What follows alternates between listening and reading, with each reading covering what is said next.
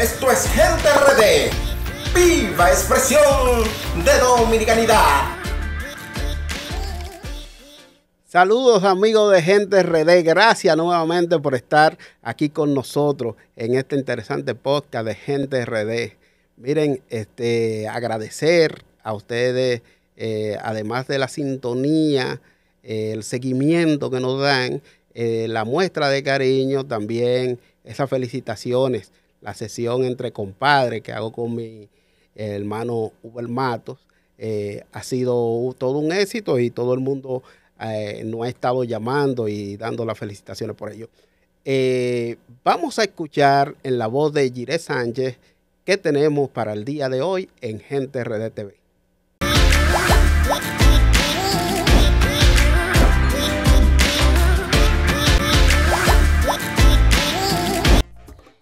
semana Gente RDTV viene botando fuego en el segmento Entre Compadres. ¿Y eso se puede hacer? Yo no sabía que esa vaina podía. Fue ah, intencional y no hay nadie preso.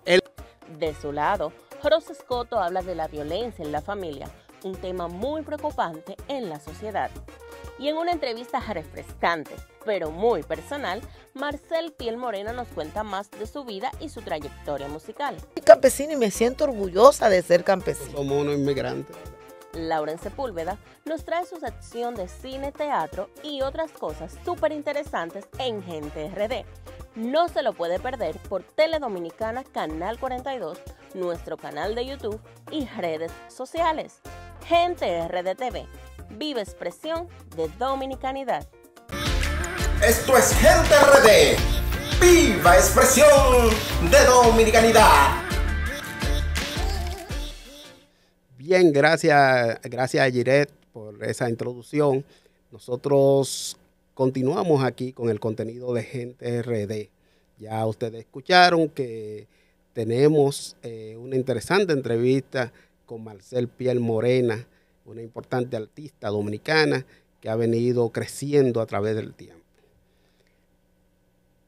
Iniciando con nuestro primer comentario de hoy, miren señores, la Comisión de Espectáculo Público eh, se ha convertido en el asme reír del entretenimiento en la República Dominicana. Se supone que la Comisión de Espectáculo Público, según eh, estipula su creación, es la representante del Ministerio de Cultura y del gobierno ante los medios de comunicación para regular el contenido y para eh, observar que cada persona que esté en un medio de comunicación esté por las reglas. Pero eh, esta comisión se ha convertido eh, en un en un chiste mediático. Y este comentario, que ya lo había hecho hace semanas, quise repetirlo a raíz de que ciertas figuras se han eh, mostrado indignadas, porque en una cabina, una situación en el aire, eh, se da una situación de una pelea y que extrayan, vocean mala palabra, porque ya decir mala palabra no importa en, los medios de comunicación, ya eso está normalizado. Ahora tenemos que prácticamente mostrarnos como si estuviéramos en nuestra casa. Y aunque queremos dar un contenido, una impresión de que la que de la telerrealidad, de que queremos mostrar una televisión, eh, una televisión, un contenido diferente a través de las redes sociales. Oigan, hay límites y hay límites. Entonces no puede ser que usted eh, se sienta a beber café y le entregue de manera VIP un, carnet, un, carnet perdón, a una presentadora que no pasó, nadie la ha visto por esa rigurosa prueba que pasan todos los locutores eh, que hace precisamente la Comisión de Espectáculo Público. Esa prueba que es el temor de todos los locutores, nadie ha visto a esa señorita por ahí. Ah, pero aparece el que en ese momento era el director de espectáculo público, eh, tirándose una foto con ella y tomándose un café y entregándole su carnet VIP. eso provocó un escándalo que tuvieron que despedir, eh, destituir al locutor Joseph Páez y colocar en su puesto a Giovanni Cruz, eh, un actor, un hombre de los medios de comunicación conocido, pero que ha seguido, como él era asesor de Joseph, él ha seguido por la misma vía.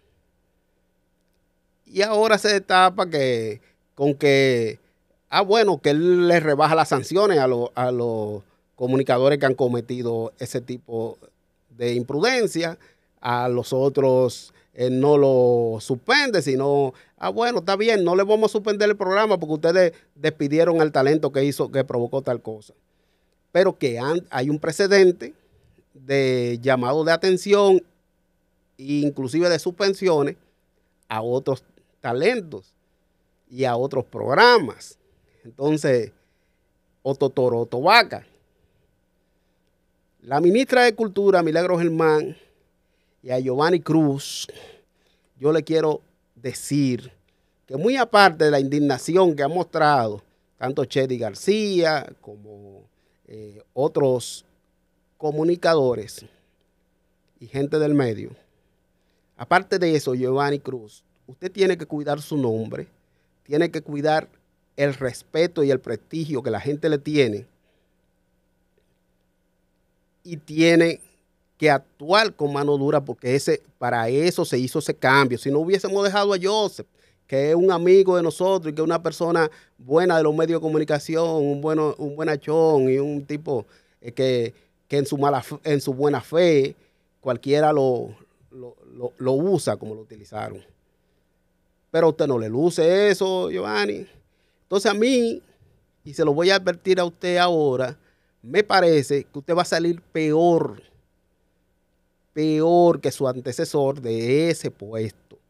Así que o pone mano dura o le da otro rumbo a esto, o simplemente suelte los medios de comunicación, deje que hagan lo que le dé la gana, no le llame la atención a nadie. Y vamos a ver dónde paramos. Vamos a ver dónde paramos, con un contenido eh, soez, un contenido muchas veces chatarra, un contenido eh, que se sale de los límites, que, eh, que con mujeres semidesnudas, donde, ah, donde eh, victimizan a la mujer, que eh, llevan, se hacen llamadas a personas de, mala reputación para que hagan acusaciones a personas que hasta el momento la gente ve, ve como, como sano. Óigase, lo importante de un medio de comunicación es que trate de llevar la decencia, la educación, el contenido que, sirva a la familia. Si ese contenido va a dañar a las personas, ese contenido que se quede en las redes sociales, que no vaya a los medios de comunicación. Ahora, si va a los medios de comunicación masivos y la gente lo va a consumir como un contenido familiar, si se va a consumir así, eh, lamentablemente ese contenido tiene que ser regulado. Y si usted no puede, renuncie o simple y llanamente aparte.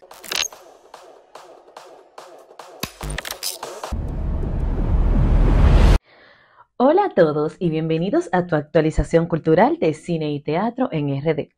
Hoy te traemos los estrenos más emocionantes que no te puedes perder, así que toma nota y prepárate para disfrutar de lo mejor. En televisión, el lunes 2 de septiembre a las 9 pm, llega a la pantalla chica Lo que diga el corazón Nietzsche. Esta nueva novela será transmitida por BTV Canal 32, cortesía del grupo de medios Panorama. Con 108 capítulos, promete una historia inspiradora y de lucha y perseverancia. Ser tan iluso, Iván.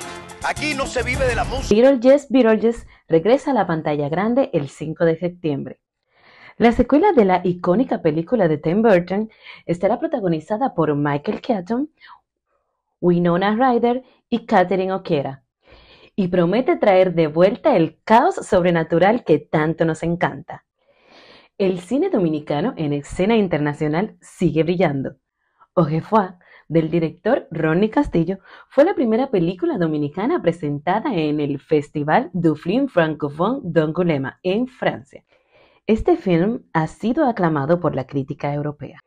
Pero esto no es todo.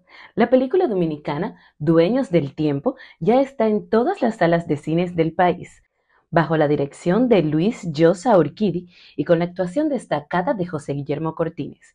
Esta emocionante aventura de viajes en el tiempo nos invita a revivir momentos claves de la historia de nuestra región. No te lo pierdas, ve al cine y apoya nuestro talento local. Tiempo! Miren chicos, miren allá adelante. Es Colón rumbo a descubrir América. ¡Tierra! ¡Tierra! Dueños del tiempo. Para los amantes del streaming, HBO ha estrenado la serie Ciudad de Dios, La lucha no para. Con un nuevo episodio cada domingo, esta serie continúa la historia de la premiada película brasileña, explorando la violencia y el potencial de las favelas de Río de Janeiro. Una serie que te mantendrá al borde del asiento. Finalmente, manténganse atentos a los días 11, 12 y 13 de septiembre, porque se celebrará la séptima Maestra Internacional de Cine ITS. Un evento que busca apoyar a cineastas emergentes, presentando una sección de películas y cortometrajes junto a actividades relacionadas con el séptimo arte. Ahora, si lo tuyo es teatro, no puedes faltar al onceavo Festival Iberoamericano de Teatro de Bolsillo que se llevará a cabo en el Teatro Guloya del 6 al 29 de septiembre. En la sala Otto Coro podrás disfrutar de grandes obras como El Poder y la Sangre y por supuesto no te pierdas la propuesta local Pinocho. Además de las obras, el festival ofrecerá talleres y espacios de crítica, una verdadera celebración teatral para los amantes del arte escénico. Así concluye nuestro recorrido por lo más destacado de la cultura cinematográfica y teatral en RD. Hasta la próxima y que disfrutes el espectáculo. Seguimos con gente RD. Miren, eh, si yo le digo que me encuentro con Luz Marcela de la Cruz, usted me va a decir, eh, ah, bueno, pero él viene con una entrevista a una figura política, algo así, ¿no? Es quizás la artista más extrovertida y que más se diversifica en el escenario. Merengue, bachata, balada, ranchera y cuidado porque la vi haciendo los otros días un dembow.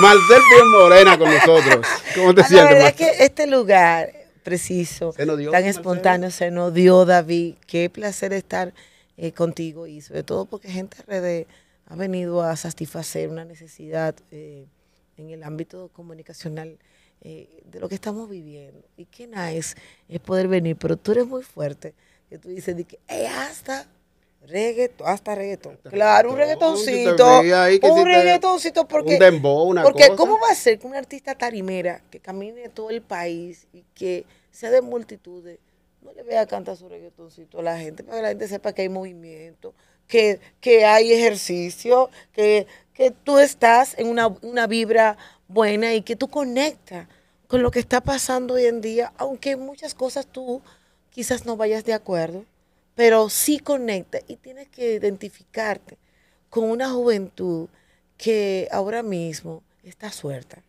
y que tú tienes que sobredirigirla, quizás también metiéndose un poquito en su mundo para atraer, porque qué gusto, Ave, ver cómo la juventud en estos días, en todas las presentaciones que tenemos en, las diferentes tarimas, se saben tu canción. No, y está bailando, ya está con los tenis dando los pasitos de merengue.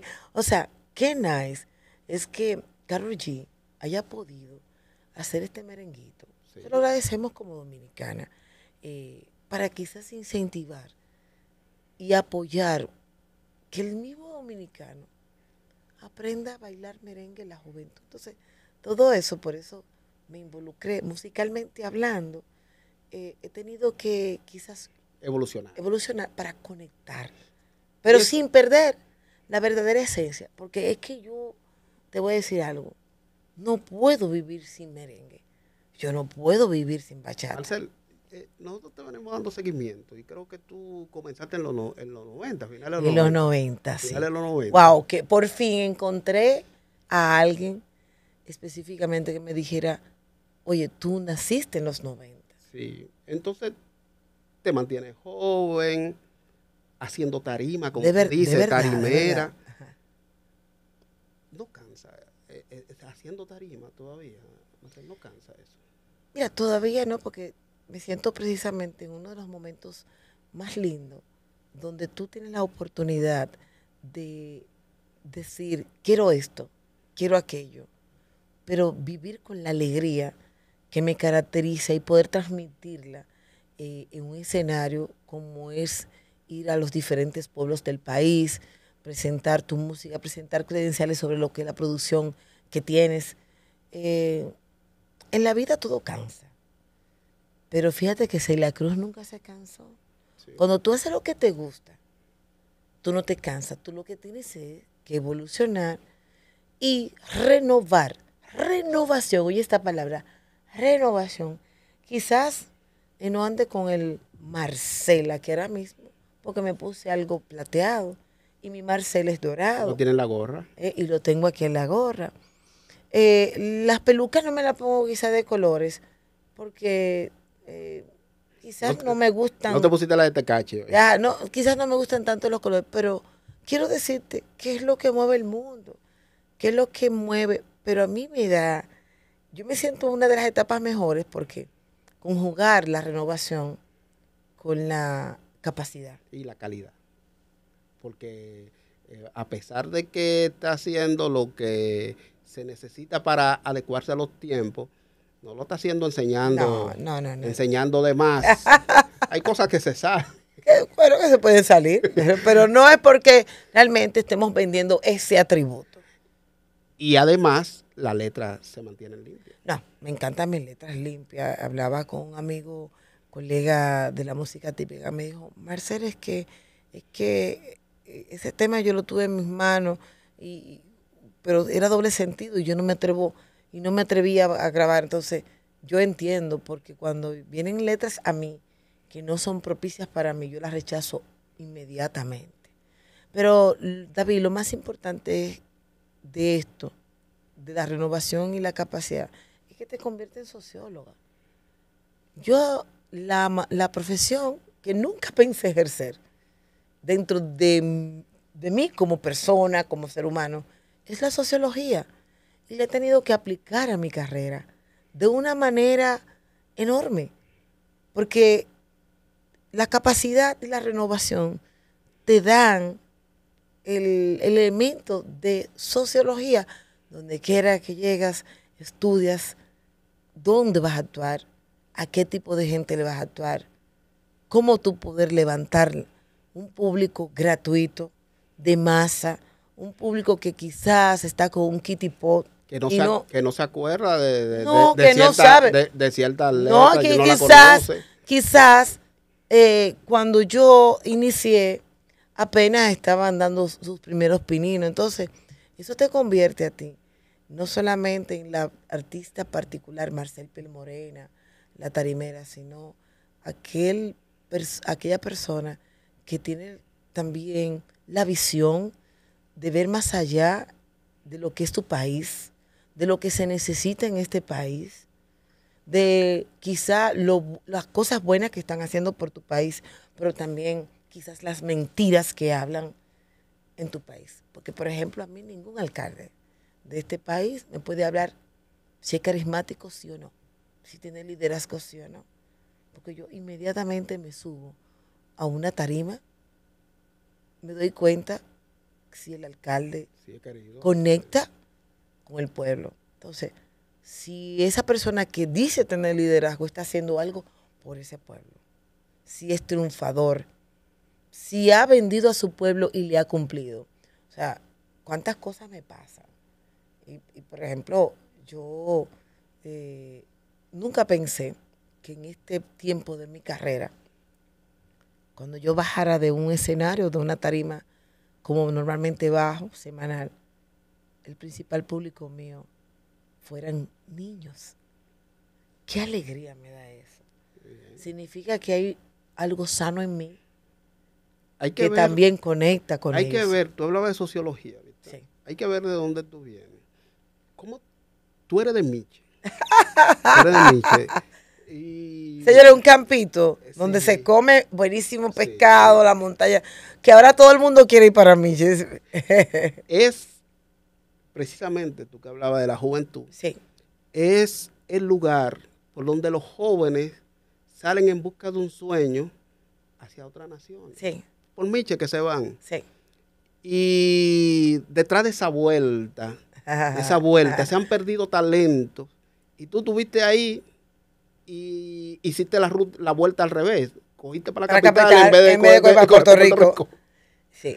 Primero, quizás no había la necesidad de yo hacer ese tipo de vueltas porque nací en el seno de un hogar de familia que velaba por la profesión, que velaba por estar ahí con sus hijos. Mi madre fue una mujer, ha sido una mujer maravillosa. ¿Cómo se llamaba? No se llama, ¿Cómo se llama? se llama Doña Luz, conocida en Miches, vendía leche de vaca pura, dos bidones de leche diario, pero con un respeto en ese pueblo, con una dignidad y con un padre que fue un líder y un bastión en el este, un, un líder carismático de los tiempos de Balaguer, diputado por tres ocasiones consecutivas. Y todo eso te da el hecho de que tú no podías hacer esa vuelta por ahí. ¿Cómo se llama tu padre? Marcelo de la Cruz se llamaba, Cruz. murió eh, hace caso- 14 años. Entonces tú no podías ser parte de esa vuelta, porque tú no podías cometer ese error de que mandara a tocar la sirena de los bomberos para, para que disimular a la Marina de Guerra para tú irte, porque no había necesidad, había necesidad de construir, de construir y dar una, un- eh, por la formación, la capacidad, la educación. Lo malo es que en el caso mío yo me fui por el arte. Sí. ¿En qué, en, en qué momento empieza eso? ¿Y qué Eso te lleva? ¿Y qué te Mira, David, esto es una reunión. Yo me he sentado de esta para aquí eh, eh, a, a conversar contigo. Porque esto, eh, Lástima que no traje el vino. ¿Verdad? Sí. Es, una, es, una- es una conversación muy íntima.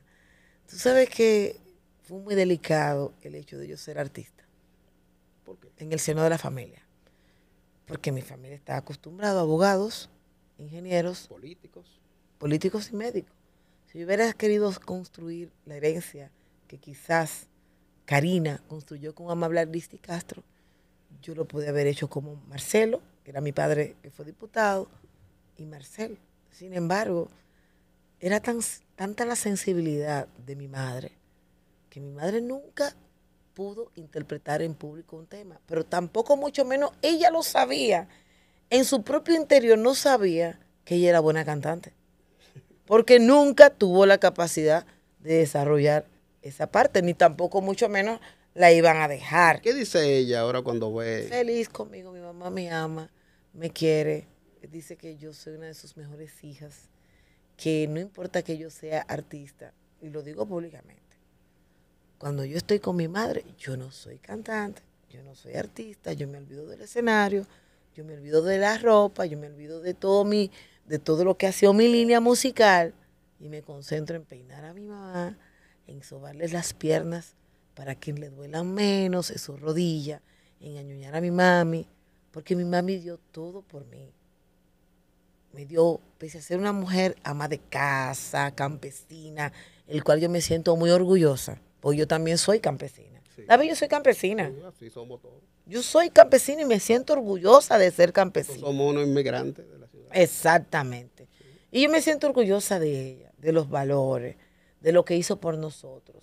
Entonces, tú llegas a la capital, me imagino que ya producto de una preparación. ¿Cómo Claro. fueron esos tiempos de preparación? Bueno, primero esos tiempos fue venir acá a, a- a hacer un, la preprimaria, o sea, lo que es repetir, porque no se aceptaba tú venir aquí a Santo Domingo con lagunas poblerinas a decir yo pasé. No, usted tenía que repetir. Tenía que demostrar. Para corregir caligrafía, ortografía, o sea, todo ese tipo de cosas. Y yo, lo, y yo pasé ese proceso y lo asumí. Eh, mi- eh, fue un proceso de, de ser mi bachiller, de irme formando, eh, de ir viendo la definición mía como joven teenager, el cual, bueno, yo prácticamente no caminé discoteca, mi discoteca fueron los escenarios inmediatamente, porque eso es otra, David. Sí. Yo nací en los 90, pero sin embargo, Como cantante. como cantante, pero sin embargo, nadie se ha puesto a pensar a qué edad yo empecé. Sí. Yo no tuve la juventud común y corriente de una joven de ir a, a- a- a las discotecas que se usaban antes. Eh, que el caso tuyo es un caso extraño, Ajá. porque, por ejemplo, tenemos el caso de los Jackson Five, que Sí. siendo niños iniciaron en la música, pero era que su padre era músico. En- En el caso el tuyo, caso tu padre no era músico. No, mi mamá Sin era una artista escondida. Tuvieron la confianza de dejarte salir. No, eh, no, una artista escondida y un político. Ajá. Y un político que todo el tiempo estaba en la calle, que la que le tocó formarnos y, y no separarse de sus hijas, que por eso yo, aparte de quererle amarla, le agradezco, porque nunca se separó de nosotras y nunca dijo que sus hijas no podía dejarla, eran hembras y no podía dejarla sola. Y no fue de la que se fue para Nueva York, se mudó con usted para acá. todo el tiempo, todo el tiempo ahí, hasta, hasta hoy. Entonces, ¿A lo qué que- barrio te llegan? a la zona colonial, a Ciudad Nueva. Ok. Ya entiendo lo que pasó. Ah, Ciudad Nueva, de verdad En los que 90. en los 90, San Pío X, eh, después viene el Mahatma Gandhi, porque la, la, la capacidad fue tan alta que yo le dije, mira mami, yo quiero seguir estudiando y capacitándome, pero yo no puedo estar rozándome con niños. Yo quiero que tú me pongas a estudiar con adultos. Encontraron un colegio, un colegio que era de la perito contador Mahatma Gandhi, Sí, para que yo estudiara y, y pudiera socializar con adultos, porque yo me sentía muy adulta, pese a ser joven, me sentía muy adulta. Y, y fue maravilloso eso, porque la capacitación que me dieron fue extraordinaria, el cual yo fui reconocida por mi colegio, dentro de las personalidades que, que se han destacado allí. Entonces, eh, después vino que mi mamá me daba la merienda, y yo esa merienda la guardaba. No me acuerdo dónde fue que conocí un, profesor de guitarra, o lo comencé a buscar, lo encontré, porque tú encuentras cosas cuando tú en la zona colonial. en la zona colonial. Mi mamá lo quería matar, porque el profesor de guitarra me daba clase, pero después se ponía a cantar alto. Y eso eh, eh, eh, tronaba en, en la casa completa. Y tú sabes que de dónde vengo, ¿verdad? Entonces fue un poco difícil asimilar mi paso al arte dominicano por parte de mi familia, donde yo le decía, mami, yo voy a ensayar hoy con bailarines, porque eh, tengo, voy a hacer un concierto. Y entonces se empujaban todos los muebles de mi casa y el escenario tenía que ser la sala de mi casa para ella verme, para ella estar conmigo. O sea que tampoco fue acéfalo, o sea, que me mandaron para la calle, o sea, fue ir construyendo eh, eh, la aceptación de que sí, realmente esto vale la pena. Eso fue un proceso de que esto vale la pena. ¿Cuáles eran tus, por ejemplo, en esa época que tú Eso Corolla no lo empezaste, sabía. ya, ya venían, ya venían bajando la cuesta mientras tú la subías. Olga Lara, Viquiana.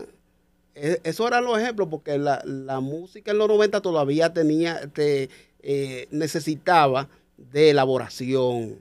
No es como hoy que agarran una computadora, le meten un, un beat, le meten... Sí, una- sí. No, no, no, no, En ese tiempo la música había que hacerla por paso. ¿Quiénes eran tu- tus eh, íconos de esa época? Mira, eh, cuando yo nací como cantante, el cual yo salgo del, del Teatro de Bellas Artes, primero para yo insertarme en el arte tuve que tomar mucha literatura, eh, leyendo libros para ser admi- admitida en el Palacio Nacional de Bellas Artes a estudiar teatro, el cual yo no lo terminé porque realmente lo mío no era el teatro, era la música, pero ya cuando tuve el dominio eh, de Servio, que me enseñó Servio Uribe, a dominar escenario, todo eso, bueno, eh, fue un proceso, un proceso, pero realmente como tú dices, eh, la aceptación de la gente, de cómo, de cómo inducirme, eh, de cómo manejar. Yo escuchaba mucho cuando pequeña a Olga Laria En mi casa, en Miches, una televisión blanco y negro. Imagínate con tú con un micrófono de palo, con un palo yo quiero, No, espérate. No, tú me, ah, como que se sabe la historia, ¿eh? Te la sabe la historia, David. David, oye esto. La emisora que entraba en Miches era Radio Samana. Ajá. Esa era la emisora más potente. Y después las boricuas. Yo me crié viendo el show de Charitingo y con los domingos. Mi mamá tenía una comadre que tenía una televisión a color. No, la primera televisión a color fue en la casa de mi abuela, pero después entonces el junte era, como dicen ahora, en la casa, la peña era en la casa de la comadre los domingos. Ahí nos sentábamos todos, yo chiquita con apenas nueve años, a ver el show de Charitín Goico. Charitín Goico tenía un súper eh, programa especial de televisión en Guapa TV. Guapa, TV no necesitaba nada, llegaba Michi solamente con el tubo y la antena, se veía nítido la señal de Puerto Rico. Yo me crié en un sistema transcultural de República Dominicana y Puerto Rico, porque las emisoras que yo escuchaba era a Edita Nazario, a Yolandita Monge, a eh, la Duque La Duque, pero estaban estos cantantes de, la música típica de, Puerto Rico. ¡Qué bonita bandera! ¡Qué bonita bandera! ¡Qué bonita bandera! La bandera puertorriqueña. Dani Rivera, eh, Wilkins. Wilkins, wow, cuando Wilkins llegaba, esos especiales que guapas hacía Marilyn Pupo que era una de las presentadoras de ahí, los especiales que hacía la televisión boricua en Navidad, patrocinado por un importante banco eh, de, la nación, de, la isla de Puerto Rico. Aquello era apoteósico. Yo me crié viendo súper espectáculo. Me crié viendo a, a Iris Chacón bailar. Sí. Por eso me encanta bailar, porque me crié viendo desde pequeña. Mis influencias fueron totalmente boricuas. Aparte de que en Radio Samaná, todos los días en la mañana, ponían esas grandes baladas de las baladistas, de Rocío Jurado, de Lolita Flores. Él no va a saber si yo te llevo en mi mente, ¿quién se puede interponer? ¿Quién lo va a saber? ¿Sabes lo que yo hacía? ¿Cómo? Espérate, yo tenía una cama cuna. Mi mamá, yo dormía en una cama cuna de caoba. Y esa cama cuna de caoba son más grandes que las cunas. Y tú la puedes utilizar ya cuando tienes 7, 8 años, hasta los 9 años, 11. Eran mosquiteros que se guindaban. Entonces, en un, en un, había, faltaba un clavo. Y en ese clavo ponían un palito con un blog, algo así, para poder guindarle mosquitero para que la niña no le picara los mosquitos. En los pueblos siempre se usó el mosquitero. Pues yo en la mañana me subí en el blog me ponía una toalla para tener el pelo largo y cantaba las canciones de Radio Samana. ¿Quién lo va a saber? Ese hombre que tú ves ahí, de, de, de, de Rocío Jurado, que parece tan amante. O sea, hola de la mar, hola de la mar, llévame a pasear, de Tania de Colombia. O sea, era una influencia extraordinaria y con todo eso yo me crié y fue maravilloso. Entonces, como que tú no puedes destapar ese, artista que tenía por dentro. Pero sin embargo, el palito, como tú dices, de la escoba, el palito del mosquitero fue, que fue mi mejor micrófono, mi mejor pedestal. Mira, eh, tú me decías que, que el dominicano a veces no tiene la, confianza en su ritmo, que el merengue, la bachata. Sin embargo, eh, dicen que nadie profeta en su tierra. Cuando tú recibiste el soberano como artista femenina del año, fue 2000, ayúdame ahí. Sí, eh, sí no, en 1998-99 fui cantante femenina del año y también lo fui la del milenio en 2000. Sí. 2000. Okay. Fueron dos veces. Entonces, pero tú, la mayoría de los premios tuyos te lo han entregado en Colombia, en México, Puerto Rico. Wow, qué nice. Colombia. San Martín, Panamá. Tú eres, tú eres famosa en Colombia y, en, en, muchísimos lugares de Sudamérica. Mira, eh, Colombia ha sido un paso muy lindo para, para mí. Eh, nosotros hemos estado trabajando formalmente en la plaza desde hace dos años. Eh, Colombia tiene una particularidad muy especial, ama el merengue. Sí. Sin lugar a duda, la capital del merengue es Colombia. se identifican. Más que Santo Domingo. Bueno, Eddie Herrera, Sergio Vargas, Ricarena, Bonnie Cepeda tocan toda la semana. Bodas, cumpleaños, actividades. No hay fiesta en Colombia si no hay merengue. El vallenato es su ritmo autóctono y la música popular, que la música popular le llaman en Colombia, que es la misma de música de banda de México. Pero sin embargo, no hay fiesta en Colombia sin merengue. ¿Cómo nosotros estamos llegando a Colombia? De la mano de un tributo muy especial, tributo, el tributo al maestro Ulfredo Vargas, el cual yo tenía hace muchos años, tenía... ¿Y por qué tú no decidiste hacerle un tributo a Miriam Cruz, a, por ejemplo, a Belki Concesión, ah. a una mujer de esa de es que no, ¿Por qué a un hombre? Porque sí, porque Ulfredo fue, sin lugar a duda, ha sido el primer dominicano que abrió el merengue en todas las partes del mundo. Después fue que vino Juan Luis Guerra y después Romeo Santo con la bachata. Pero definitivamente, el primero, el primero como artista dominicano que se da a conocer en Bolivia, Perú, Chile, Ecuador, Honduras, eh, Panamá, Costa Rica, Guatemala. Eso es un trabajo que ese señor hizo. Para es más, tú vas a Ecuador en Ecuador para el Bicentenario de Ecuador de Quito, hay quien busca en es Alfredo Vargas. Y no hay que le hable de otro artista. Entonces, Colombia lo ama tanto que lo adoptó y Ulfrido prácticamente vive en Colombia, aunque vive aquí parte ya, pero su departamento y su vida en Colombia. Entonces, yo tenía un compromiso, decía yo, conmigo misma, de poder decirle a la gente, señores, a la gente no se le hacen homenaje cuando mueren. A la gente se le hacen los tributos en vida. ¿Y qué mejor que hacer un mix de los mejores éxitos del maestro Fidel Vargas, Comején, la medicina, el africano, todos esos temas, su casa americana nuní, todos esos temas, llevarlo a un mix. El perrito. El perrito, wow, qué nice. Imagino tú haciendo el perrito. no, si tú supieras, yo pongo a otros el perrito. Pero, aunque suene. Eso es eh, trampa. aunque suene, aunque, suene aunque suene 80, pero déjame decirte una cosa.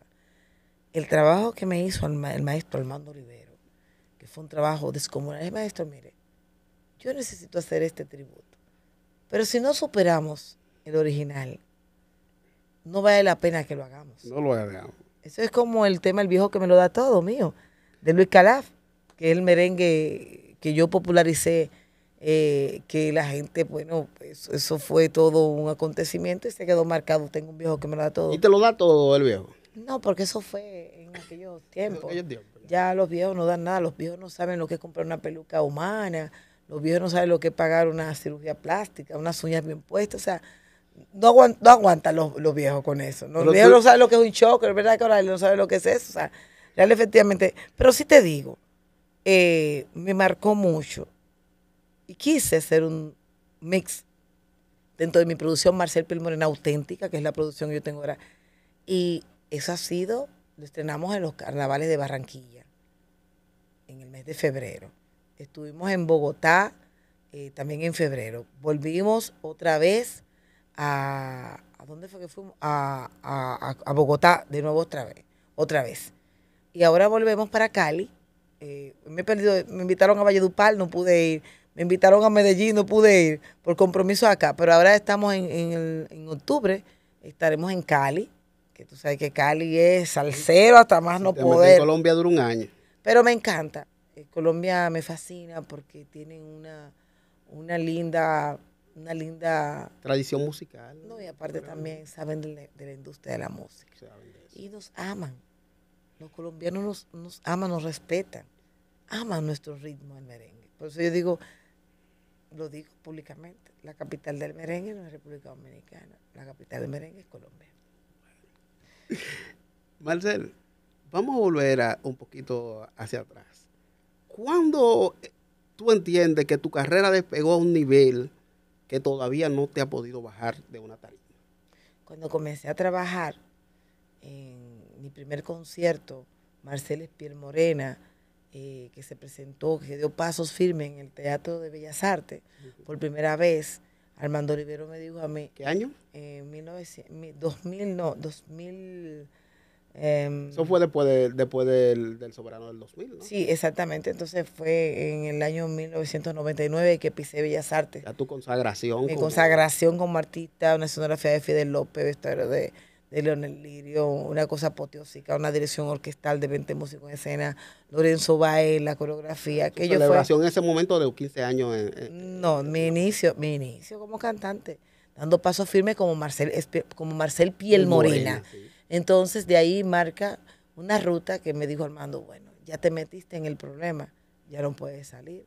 Al otro año consecutivo, entramos Teatro La Fiesta del Hotel Jaragua, a casa llena. Después vino un ciclor llamado George, metimos, nos tuvimos que entrar en el Lina. Después no tuvimos que entrar, fuimos al Centro de la Cultura de Santiago. Después hicimos otra vez Jaragua. Después hicimos Mauna Loa, tenía que ser. Después hicimos Marcel con su pueblo en el puerto. Después anduve los barrios de la capital con la mano de un cigarro que se llamaba Monte Carlo, se llamaba Monte Carlo, con unos jeans, una cantidad, de Tokio Motor, aquello con planta, unos espectáculos en los barrios de la capital, que el cual consagraron la parte popular de hacer un nombre en nuestro país, pero sobre todo mantener lo que cuesta. O sea, han seguido los eventos y los conciertos porque hay unas, después hicimos The Plains en, Miami, un lugar que está en la calle 8, que es como un teatro, hicimos ahí, pero lo más importante para mí es haber llevado el merengue a Taiwán. Mira, nosotros vamos a hacer una breve pausa. Sí. Pero yo quiero que antes de esa que después de esa pausa, tú me digas cómo está, cómo está tu corazón y cómo en todos estos años tú has podido darle mantenimiento al corazón y al arte. Ese no fue el compromiso. Después de la pausa.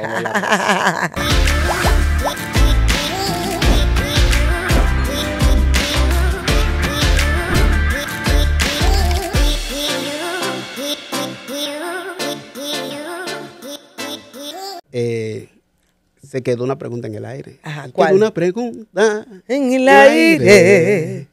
Por si hay alguna duda. Sí, porque si yo sigo cantando se, se cae el, show.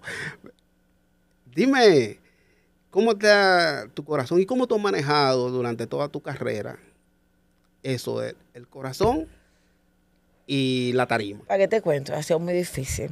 Ha sido muy difícil. Yo soy una mujer muy sacrificada en cuanto a, a la parte sentimental, a la parte mía, de familiar. Siempre estoy lejos de mi familia si mi hermana no anda conmigo, mi hermana que le encanta andar conmigo, ahora se me va en estos días, mi sobrina, o sea, yo quisiera tenerlo todo junto eh, eh, cuando puedo, o sea, qué difícil ha sido eh, la parte de no creer quizás. Me he enamorado muchísimo, ¿eh? Para que tú te clares. Me imagino. Me enamorado, ¿no? ¿Por qué te pones tan serio? No, porque, yo tengo de... Imagínate. Sí, o sea, me he enamorado muchísimo. Eh, me han conquistado, me han dejado, yo he dejado. Pero llega un momento en que tú no le das tanto valor a esa parte, sino tú le das valor al compañerismo, a estar dentro de... De, estos afanes. No, no, que cuando tú terminas el espectáculo, tú necesitas esa soledad que viene, que tú llegas, se va el chofer, se va el técnico de sonido, se va el asistente, se va el fil, el equipo entero se va. Y tú sales con tu bultico de tu guagua a entrarte pam, pam, pam, pam a tu casa. Pero tú sabes cómo tú vas, sola. Entonces tú necesitas a alguien que esté acompañándote, que tú le digas, ay, me duele la cabeza. Ay, mira, el show fue tan fuerte. Mira, me duele la rodilla, subamos un poquito ahí. O sea, no solamente el sexo, sino la parte más frágil, que es el de no estar sola. Eh, mido mucho eso. No creo mucho en que te tengas que matrimoniar con un vestido blanco. Nunca he creído esa parte. Pienso que la mejor... Con un traje de baño. No, es que la mejor, el mejor matrimonio es llevarte bien dentro de una casa. No está peleando tanto. ¿Tiene hijos? No, pero tengo una sobrina, tengo sobrinas hermosas. Tengo sobrinas hermosísimas, bellísimas, que amo y que quiero. ¿Y cómo un artista eh, que camina por tantos escenarios, por tantos países, y que tiene la mirada de todos los hombres encima, ¿cómo una familia, cómo un artista pone un límite a eso? ¿Y cómo evita que cosas que sabemos que se dan en el arte sucedan? Ahí vienen los de campesina. Ahí vienen los de campesina. Me sale el Miches. Me sale el Miches. Le, manda guayaba atrás. No, es que me sale el Miches, es que ya uno va teniendo experiencia, uno va conociendo quién viene con un interés marcado, que viene. Mira, hay mucha gente que se ha acercado con muy sano, ¿eh? De manera sana, pero también existe la delincuencia queriendo atrapar artistas como yo. Por ejemplo, yo te lo, te lo comento así y que no se ofenda la gente de Facebook, pero yo no le contesto a todo el mundo por Facebook. ¿Por qué? Porque muchas veces se hacen pasar por quienes no son para crear situaciones en las cuales le puedan sacar ventaja para subirte post y para chantajearte. Entonces, yo no he sido víctima de eso, gracias a Dios, pero lo que yo sí me cuido en cuestión de que no caer en ese tipo de tentación. Mira, en los 90, artista muy, muy connotado del país, incluyendo eh, se ha sabido que Wilfrido Valga, que Sergio, eh, sin darse cuenta se vieron de repente tocando en una narcofiesta. no, no, pero es que eso nadie, ningún artista tiene la culpa de saber, porque tú no vas a coger un medidor a la hora que te contraten. ¿Usted qué hace? ¿A qué se dedica? Usted no va a llenar un formulario en una planilla. En eso nadie puede, eh, o sea, puede cuestionar a un artista. Un artista se contrata y punto, y usted canta y punto, recibe su dinero y usted se va. Pero tú te has dado cuenta que tú has estado en un escenario de... Bueno, quizás, bueno, yo no sé. De verdad que no, no me he dado cuenta. Yo canto, bueno, tuve lujos, tuve cosas, pero eso es parte de, de, esa gente. O sea, usted no tiene derecho a cuestionar a nadie. Así es. O cuando usted es invitado. Además, usted se limita a su trabajo. Marcel, eh, nuevo proyecto, nueva imagen. Uh, claro que sí.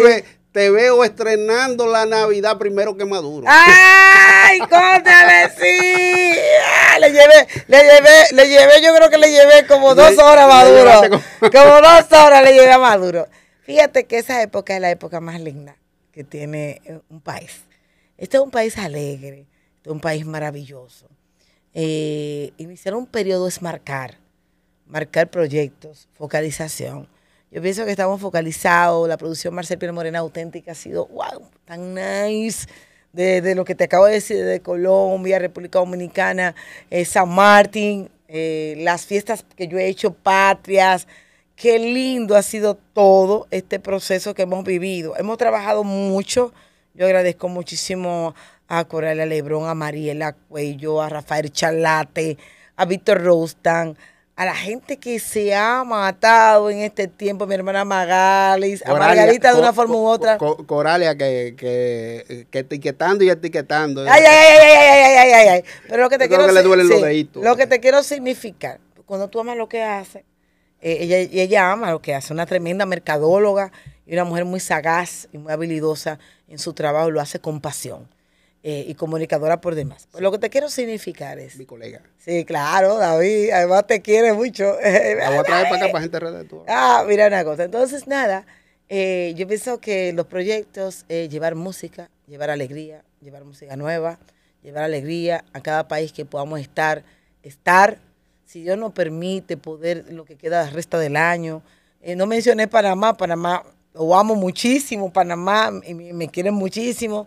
Ojalá podamos estar también el mes de octubre, eh, seguir agendando, seguir, seguir llevando mi alegría con mi banda en vivo, con, con mi DJ, poder seguir siendo Marcel Piel Morena, la más auténtica, y distribuir esa alegría por todos los lugares del mundo que yo pueda estar, de aquí a que se termine este año. Y que en el año 25 podamos ser un, un ente de, de esperanza y sobre todo que la gente pueda seguir creyendo en lo que hacemos y que la gente mía de TikTok pues siga creciendo, que me encanta, bueno, y que le prometo que vamos a, a bailar mucho en diciembre en TikTok. O sea, hay accidentes, hay accidentes y hay coincidencias. Eh, es un muchacho que se ha hecho figura después de haber hecho un escándalo durante Ah. una rueda de prensa tuya. Claro. Eh, yo no voy a hablar de lo que pasó en esa rueda de prensa porque todo, La gente todo el mundo la gente lo sabe. Ahora, eh, ¿cómo tú ves que, que, el- que figuras eh, se valgan de escándalo y se valgan de, de gente que está posicionada para escalar de esa manera? Bueno, el tiempo es el mejor aliado del hombre. Y el tiempo decide si te vas o te quedas, si te conviertes en un clásico, sí o no. O sea, o si lo que, lo que traes el barco no trae nada. O sea, yo digo que, bueno, eh, el tiempo, yo soy de las que digo que yo no voy a fiscalía. Yo soy de las que digo que mi verdadero juez es la justicia del Señor. Y lo que pienso es que el tiempo es el mejor aliado para saber si te quedas o te vas. Sí, y, que, y también para que la gente sepa quién es inocente y quién es culpable. Ya. Sí. No hay que hablar más de eso, de eso porque lo que está a la vista no necesita espejuelo. Entonces pienso que eh, Es demostrar, Es la sociedad que tiene que dar la oreja. demostrar, tú tienes que demostrar si realmente valió la pena hacer eso. Porque el tiempo, fíjate que hay muchos reggaetoneros que no se han quedado. Así es. Por eso los reggaetoneros colombianos están preparados. No solamente para cantar reggaetón, sino para cantar cualquier música. Entonces, al final de cuentas, tú tienes que demostrar si te vas de este medio o te quedas. Pero es el tiempo. Hay una canción que debería yo hacer que se llamaba, se llama Te doy el tiempo. O te vas o te quedas. No te queda. Me gusta Eh, ese corte. Sí, está bonito. O te vas o te quedas. O te quedas. Casi siempre se quedan. Mira, y Pero si no hay talento, se van. en Se colaboración. suman, se suman. Así es. Se suman. En colaboraciones, nosotros hemos visto que tú, tu carrera tú no la basado en colaboraciones. No, mira, Pero a veces son importantes. sí, sí, sí, sí, es Y verdad. se esperan que tú, por ejemplo, eh, ahora que está de moda grabar con, con artistas de, de otros países, de otros géneros, hacer Yo combinaciones. siempre he dicho que cuando las cosas no se forzan, yo nunca he creído en nada forzado. Yo siempre he creído en las cosas naturales que la vida me ha dado. Y por eso yo soy bien auténtica. Yo digo que si una colaboración tiene que ser algo muy especial, que salga de ambos. No algo, mira, vamos a este junte porque esos dos más dos son cuatro. Son cuatro. Eh, y, y al final el junte se queda simplemente ahí. Solamente son cinco posts que tiramos y después el video de YouTube y nunca se logra. Yo digo que el tiempo es el mejor aliado. Y además, cuando se va a hacer un junte, se hace. Los juntes que yo haría, lo hago, lo haría, de- lo haría nice, de verdad. No por hacerlo. O sea, las colaboraciones, yo no creo en colaboraciones por hacerlas, sino que, que realmente haya esa, esa, ese, ese, Pero- ese Pero no, esa conexión. no tenemos algo que venga ahí, este, que esté a la vuelta de la esquina. Que esté Vamos a ver, vamos a ver. Vamos a ver, no te lo puedas caer. si te lo dejo caer, pierdo.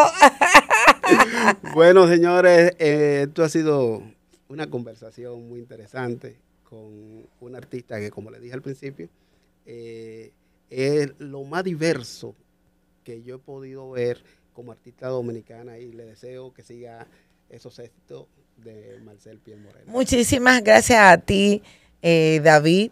Y, y, por supuesto este año esperen aquí en el país que siempre tenemos una causa muy linda, que hacemos un evento siempre eh, a favor del cáncer eh, de mama eh, para, para, para siempre, para noviembre. O sea que eso va, muchachas, se los prometo. Y la gente siempre está atento a eso. Y después, te, y vamos a bailar, después vamos a bailar. ¿Por qué te toca el tema del cáncer? Porque hubo una periodista llamada Isabel, eh, Isabel, ay, eh, que era mi mejor amiga y que nunca la voy a olvidar y que fue la que me motivó. La primera vez ella me invitó a su actividad. Sí. Sácale la lengua al cáncer. Y entonces Isabel, que era una tremendo ser humano, periodista de Antena Latina, sí. eh, me dijo, Marcel, yo quiero que tú te unas conmigo a trabajar por las mujeres de cáncer. Y ella era mi amiga. Entonces yo me uní a ella y después ella me hizo hacer mi concierto que yo hago, mi concierto como artista popular, que lo hiciera a favor del cáncer de mama. El cáncer, eso fue en Jaro Café el primero. Ahí yo la subo al escenario y le hago un reconocimiento para después ya el año siguiente ella solamente poder ir y aplaudirme un poquito. Y ya el, el siguiente ya no pudo estar ya con no. nosotros. Entonces, es una causa que me pega muchísimo. Ella fue un estímulo para mí en el sentido de que ella iba al gimnasio, aparecía bella, preciosa, se ponía peluca, viajaba a muchísimos países, se puso a vender los productos. O sea, realmente ella luchó y fue una guerrera incansable. Bueno, pues...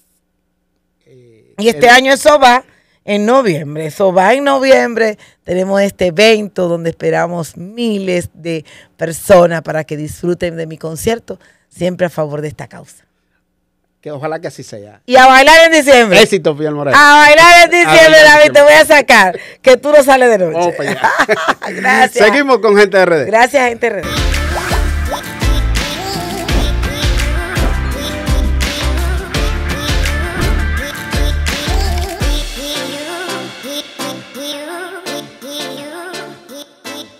vamos a iniciar con la sesión Los Compadres. Ahí vamos a recibir a Uber Mato que está aquí con nosotros.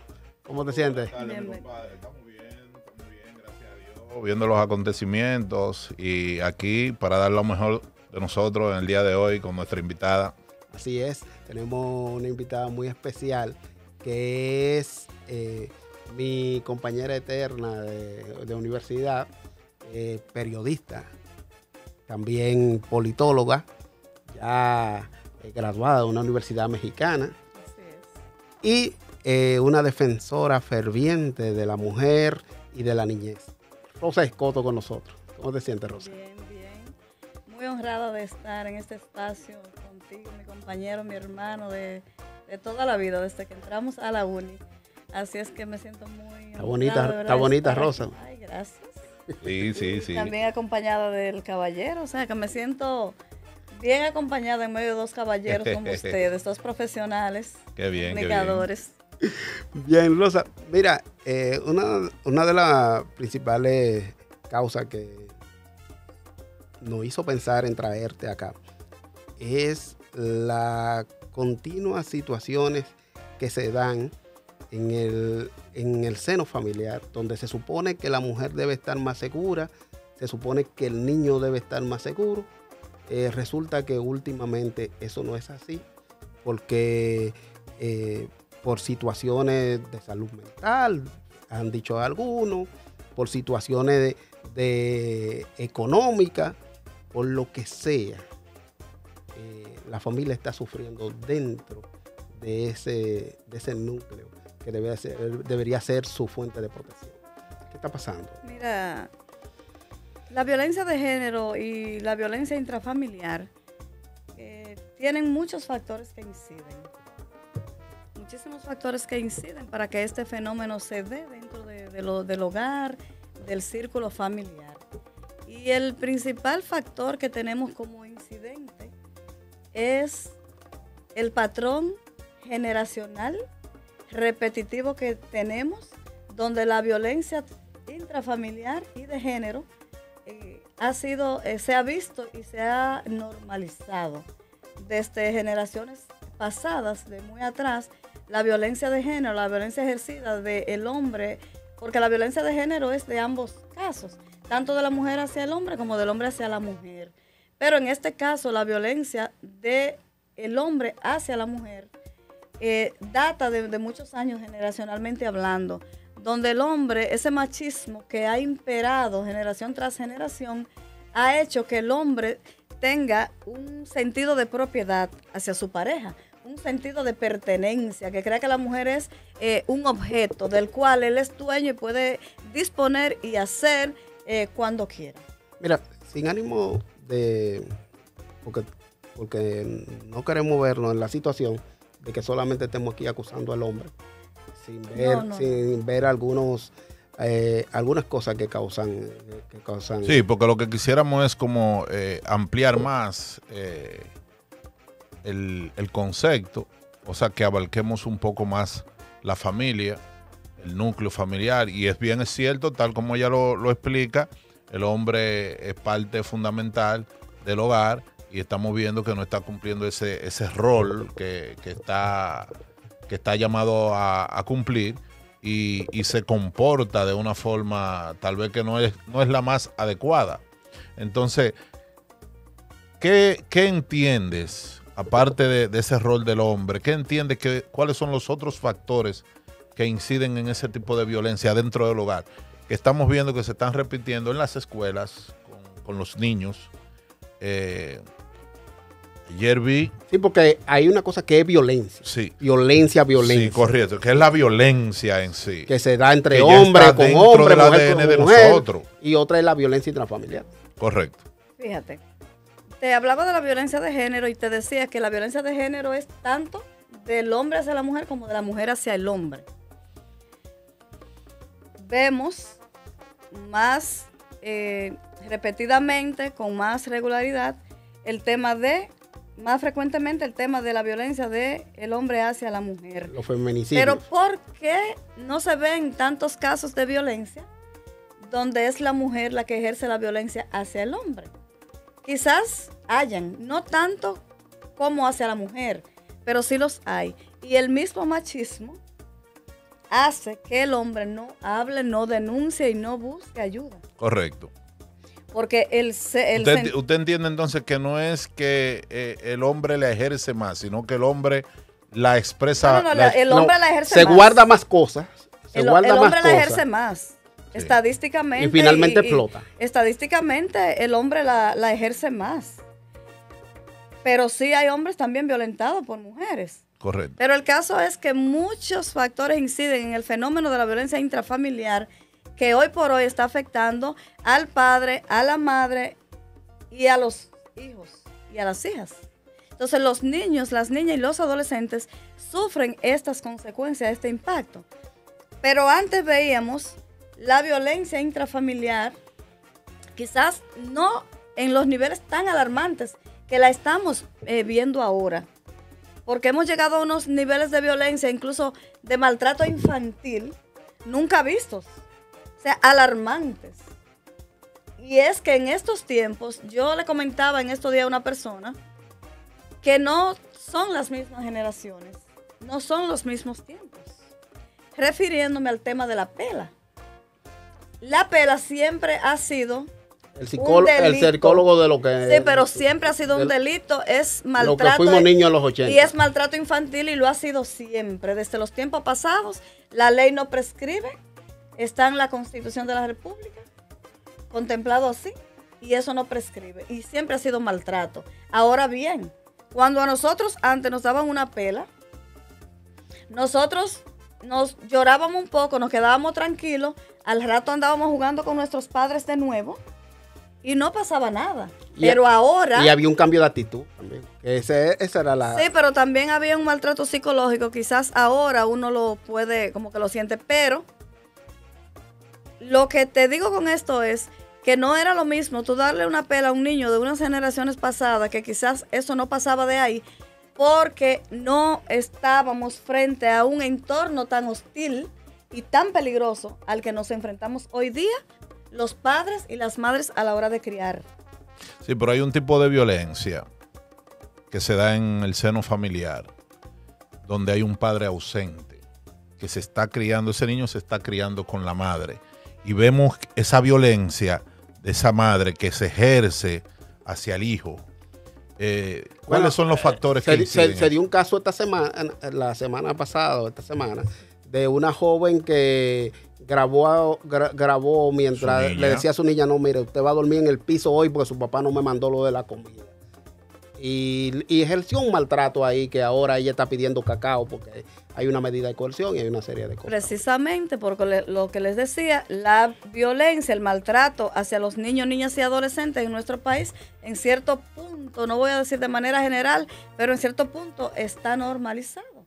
Ya un padre, una madre, o lo veía siempre antes y ahora se sigue viendo, dar pela, dar golpe, utilizar el método del maltrato para corregir o para que un niño haga la las cosas bien hechas, se ve como normal. Pero nunca es ni será normal. ¿No será que se perdió? se- o Pero sea, estamos en la crianza. No Ahí- se perdió, no se perdió esa línea delgada donde tú identificabas lo que era un, tal vez vamos, porque maltrato es maltrato. Pero existía una línea anteriormente donde era correctiva para corregir. En el caso específico que, que cita mi compadre David, él le está exigiendo a la niña, o sea, está maltratando a la niña por el hecho de que el padre no cumplió con una responsabilidad. De Ya. hecho, Rosa, uno de los puntos más controversiales que tiene la constitución que el presidente Luis Abinader ha enviado al Congreso es que se está eliminando el calificar la pela como maltrato. En el artículo 123, en su numeral 3, se dice en el nuevo Código Procesal Penal que si esos maltratos no fuesen repetitivos, no podrían ser tipificados como delito, a lo que nos oponemos. O sea, yo me opongo, nos hemos opuesto organismos eh, como el CONANI, como el Gabinete de Niñez y otros organismos eh, en están opuestos a eso, ya que eso es una puerta abierta al peligro para la niñez y la Claro, adolescencia. claro. Porque a la hora de dar golpes no hay límites. ¿Y quién tipifica si tú es no repetitivo o no? que tú no pones los límites a la hora de tú corregir dando golpes. Y tú le estás, eh, perdón, tú le estás mandando al niño, a la niña o adolescente una señal de que para que haga las cosas bien, para que haga lo correcto, debe ser a base de golpe. Y eso se va tan lejos que hoy por hoy mujeres maltratadas lo normalizan también y la sociedad lo normaliza porque entienden que quien te quiere te maltrata, que quien te quiere te agrede. Entonces son eh, ahora- prácticas que se perpetúan. ¿Usted se acuerda de la pela en sílaba? Sí, la va. Que era Sí. yo te dicho. Entonces. y, Usted- y lo usted- bonito. usted acuerda unas cuantas de esas, Y lo bonito, de, ¿Cuántas te lo, bonito del caso, no, yo, yo era la pela, viva. A mí me Lo, lo bonito del caso es que a ti te llamaban, buena. fulano, venga acá, con el calizo en la mano, Sí, venga acá. y Y, ya tú sabías que lo que venía. Sí, y tú venías como, Aguantar. como ahí. un cordero. Pero es lo que hablábamos en el podcast anterior con respecto a los tiempos pasados. Y eran otros tiempos. Los padres de nosotros no tuvieron el acceso a la educación que tenemos hoy día y a la formación que tenemos hoy día. Y no es que uno lo justifique, pero hasta podríamos entenderlo, ¿verdad que sí? Falta de orientación. No tenían a la mano las en día herramientas que tenemos ahora. Hoy en día tenemos Claro. herramientas. Inclusive, Inclusive- existen instituciones como la de Conani eh, y otras instituciones que van de la mano con, con el cuidado de- del menor y de la familia que te dan todo el claro. apoyo, todo el apoyo Así necesario. es, Así es. Y tú puedes buscar esa ayuda que tú necesitas en cualquier momento. Pero eh, veo ese, no sé si, si sería un poquito eh, muy directo con, con el Estado, porque yo siento muchas veces en esos casos esa ausencia del Estado, como que no le da ese seguimiento a, a esas familias que lo necesitan o que lo requieren, tal como hablábamos en el podcast pasado. Sí se le da. Sí se le da. Se le da desde los organismos que están para eso. Lo que pasa es que aquí hace falta el mea culpa a la sociedad, a la población, a los padres y a las madres. ¿Por qué existe el CONANI? El CONANI existe, tiene su, su razón de ser por precisamente la falta de cuidados parentales por la deficiencia de los padres a la hora de cuidar y proteger a sus hijos. O sea, tiene que haber un organismo que esté en la garantía, en la defensa de los derechos de los niños, niñas y adolescentes. Pero estamos viviendo uno- un- una ausencia de cuidados parentales y de protección y un, un ambiente hostil, peligroso dentro del seno familiar, que dentro de la propia familia hay un peligro oculto latente. Y, es y debe ser el, el primer círculo de protección para un niño, niña o adolescente. Debe ser la familia, su familia. Sin embargo, no está siendo así. No está siendo así y los organismos están haciendo y hacen, pero cada día más, cada día más, más casos, más casos, más padres, más madres irresponsables que no cuidan ni protegen a sus hijos. Al contrario, estamos ahora viviendo el fenómeno del maltrato, de, de matar a- incluso a sus propios hijos e hijas. Y eso, eh, David, responde a muchos factores, que tú hablabas ahorita de los factores. Eso te quería, eh, te quería preguntar. Exacto. Esos Eh, factores, tú dices, te refieres. El factor económico eh, es Exacto. importante eh, en, Mira. ese, en este círculo ¿Cuáles violento. son los, los principales factores que inciden en ese tipo de violencia? El primer factor que incide en el- la violencia intrafamiliar es la ausencia de valores en el seno familiar. La ausencia de valores, de buenas costumbres, la ausencia de saber criar y disciplinar en amor y con amor.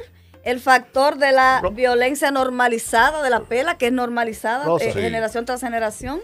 Rosa, eh, estoy de acuerdo 100% La ausencia eh, del padre también, como tú decías ahorita, las madres muchas veces criando a los, a los niños y a las niñas solas. Existen múltiples factores que dan lugar a, a eso. Estoy de acuerdo 100% contigo, pero ah, hemos visto unos factores en los últimos casos en lo que intervienen. Primero, el uso de droga. El factor económico. El factor económico que el no se puede factor quedar. educación. No, pero también hay otro muy importante. Hay muy, eh, es, es muy importante, porque en el de educación entra eh, ese hombre que es humillado porque en un momento determinado está pasando una situación difícil económica y Eso la, y a la la mujer lo humilla al punto de que el, el tipo estalla. Eso es un tipo de violencia. Pero también, también está la salud mental. Sí, ahí, ahí te iba a decir. Entonces, en- son múltiples los factores que inciden en la violencia intrafamiliar. Como, los, como te decía, la ausencia, muchas veces la ausencia de un padre, la falta de valores, esa eh, se perpetúa la violencia también, son patrones repetitivos que porque a mí me criaron con pela, que ese es uno de los principales factores, como a mí me daban pela, yo voy a criar igual y así eso se va perpetuando Sí. generación tras generación. Está también las adicciones a las sustancias prohibidas, al alcoholismo. Un padre, una madre con problemas de alcoholismo, de drogadicción, no puede criar un hijo en amor y con buenos principios ni con valores, no puede hacerlo. Está el tema económico, que muchas veces yo como madre tengo un problema económico, estoy aburrida, estoy amargada y viene el niño a pedirme agua, a pedirme algo, a acercárseme, yo le doy una bofetada porque estoy alterada, porque tengo un problema Que el, económico. que el papá te acaba de llamar que no, te- la casa. que no le han pagado un trabajo que hizo que por eso no te ha mandado la mensualidad. Y muchas veces hay conflicto entre la madre y el padre por el problema económico, que la madre, el padre llega de trabajar y están discutiendo, están peleando, ya eso va creando un ambiente hostil dentro del hogar que termina en, en- en violencia hacia el niño, niño adolescente también. Y está el factor de la salud mental. Estamos viviendo unos tiempos eh, bastante eh, difíciles donde la salud mental en nuestro país eh, se han incrementado los problemas de salud mentales a unos niveles nunca vistos. Muchas personas y expertos han dicho que del COVID para acá, Sí, pero la salud mental, Pero- la salud mental siempre ha sido un factor. pero eh, la eh, salud a de mental, sí, pero a los niveles de que un padre o una madre mate a su Pues se niño, refiere estamos al mirando de- incremento que ha al habido. incremento de Bueno, eso sí. al incremento de, de tragedias que han ocurrido por la salud mental. muchas madres, muchas, muchas madres jóvenes y muchos padres enfrentando problemas de depresión. Un problema que veo muy común siempre es que cuando ocurre una tragedia en un entorno familiar, ya sea de violencia de género, de violencia hacia un niño, niña o adolescente, sale todo el vecindario, toda la población de que lo sabía.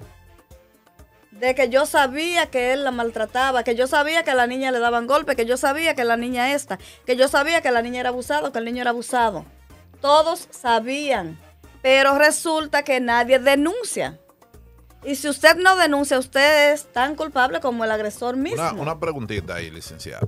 ¿Cuáles serían eso, esas señales que nosotros como, como padres y la población en sentido general debería de, de tener en cuenta para identificar ese tipo de violencia que marca en un, en un hogar?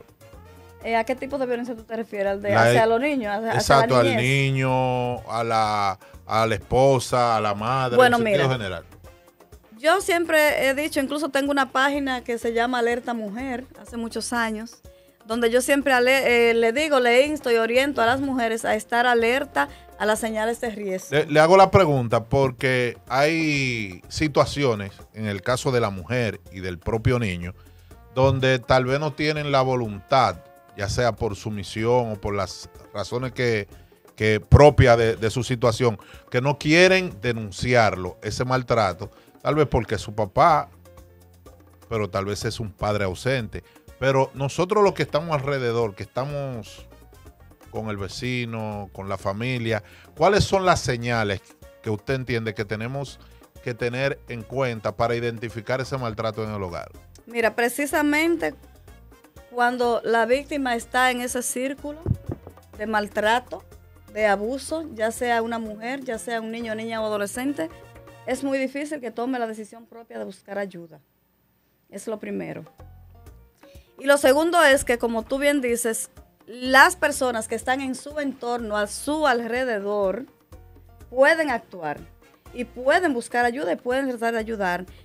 La mujer puede ver señales en el hombre, porque no es verdad que un hombre va a venir de buena primera eh, así, sin tu ver ninguna señal, agredirte o a matarte. o- no, hay un pleito, hay una Hay una agresión, hay una, agresión verbal, hay una amenaza. Hay una querella. Hay un, muchas veces querellas ya en la justicia, pero ah, antes de la querella, Una orden de alejamiento. no, pero antes de eso hay que en más su señales. momento la orden de alejamiento se convierte en una orden de muerte, porque ¿quién entrega la No, orden ya de...? no, antes sí, ya no. Ah, ya, bueno. ya no. En muchas ocasiones ha No, sucedido. Ahora no es la víctima precisamente por eso, porque eh, la víctima le tenía que llevar la orden de, de alejamiento o hasta de arresto al agresor y ya ustedes saben lo que pasaba. Ya eso no ocurre porque ya se la envían vía alguacil.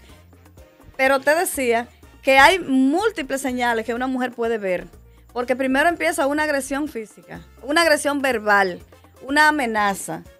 Y de ahí luego eh, una galleta, un empujón, una cosa. Y cuando tú vas dejando pasar esas señales y vas normalizando, y ya llega el, el desenlace fatal que muchas veces es la muerte. Igual ocurre con un niño, niña o adolescente. Cuando el niño se aleja, se aísla, te dice que no quiere ir a la escuela, no quiere hablar contigo, tienes que tomar medidas, tienes que observar, tienes que verlo, tienes que escucharlo para ver qué le está ocurriendo a ese niño, esa niña o ese adolescente.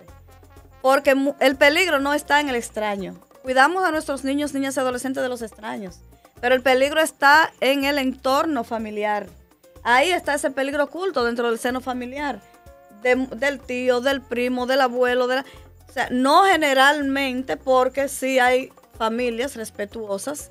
No es la generalidad, pero vemos que en muchos casos ese abusador está dentro del seno ¿Puede, familiar. puede un, un ciudadano normal, común y corriente, denunciar una violencia en un hogar que no le pertenece? Pues- Ejemplo, pues yo claro. puedo denunciar a mi vecino que se pasa el día entero peleándole al hijo y a la mujer. Claro que sí, existe una, existe una línea Inclusive vida. tú puedes llamar Existe 911 la línea si vida, tú- ¿no? Y existe la línea vida, que es donde la, donde la gente puede llamar.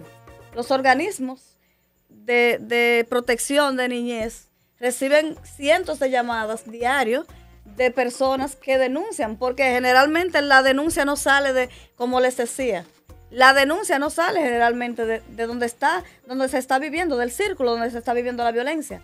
La denuncia sale de un pariente o de un vecino, un hallado que denuncia. Aunque muchas veces cuando ocurre una tragedia es que salen a decir que lo sabían y no han puesto la denuncia. Pero sí, es válido que cualquier persona que vea una agresión hacia una mujer, hacia un niño, niña o adolescente o hacia un hombre, también, porque la violencia de género es de ambas vías, puede denunciar. Rosa, hay un tema que ha saltado a la palestra en estos días, un escándalo que involucra al ex candidato presidencial del Partido de la Liberación Dominicana, Abel Martínez. Eh, lo que se sabe hasta el momento que hay una señora que ha, ha acusado a este político de haberla agredido sexualmente cuando ella era menor de edad y que de fruto de esas violaciones, ella dice que son dos, que fueron dos veces, nació un niño y por la imposibilidad de que Abel eh, haga un contacto con, con, el niño y se aclaren las cosas, ella lo ha hecho público. Eh, ¿Cuáles factores tú identificas aquí? ¿Qué tú identificas eh, tanto en la denuncia de ella como en la respuesta que ha dado Abel Martín? Bueno, he visto como en dos oportunidades las declaraciones de la joven. Ella eh, alega haber tenido un hijo con el señor Abel Martínez, que me parece que tiene 13 años. 13 años. Veo más que todo mucha gente revictimiza, revictimizándola a ella. Comenzando por ella. Ella está declarando ahora, porque ahora fue que tuvo el valor para hacerlo. Según sus declaraciones, ella era menor de edad, según sus declaraciones. No menor de edad cuando parió al bebé, sino menor de edad cuando eh, tuvo relaciones sexuales con el señor Abel Martínez. En ese momento, me imagino que era una niña ingenua, una niña, una niña al fin, Sí, una por, por su edad. Eh, en esa edad las niñas caen en cualquier gancho, le creen a todos, le creen Son a- ingenuas. son ingenuas, le creen a cualquiera que le ofrezca eh, tenerla en una, eh, dignificarle su vida y demás, y creen todo lo que le ofrecen y todo. No digo que sería el caso, pero sí, según ella, eh, tuvo relaciones con él siendo menor de edad, y según ella misma dice que tenía sus necesidades y que por esa razón cayó en, en esa situación. Sin embargo, eh, luego apareció una persona que, que asegura que ella que estuvo manteniendo a ese niño porque ella eh, lo llevó a la justicia para que así Que fuera. procedió de la misma forma que está procediendo Con ahora Abel con él eh, muchos años atrás. Fíjate, ella misma dice que el señor Abel Martínez tuvo conocimiento de la existencia de ese niño desde el primer momento.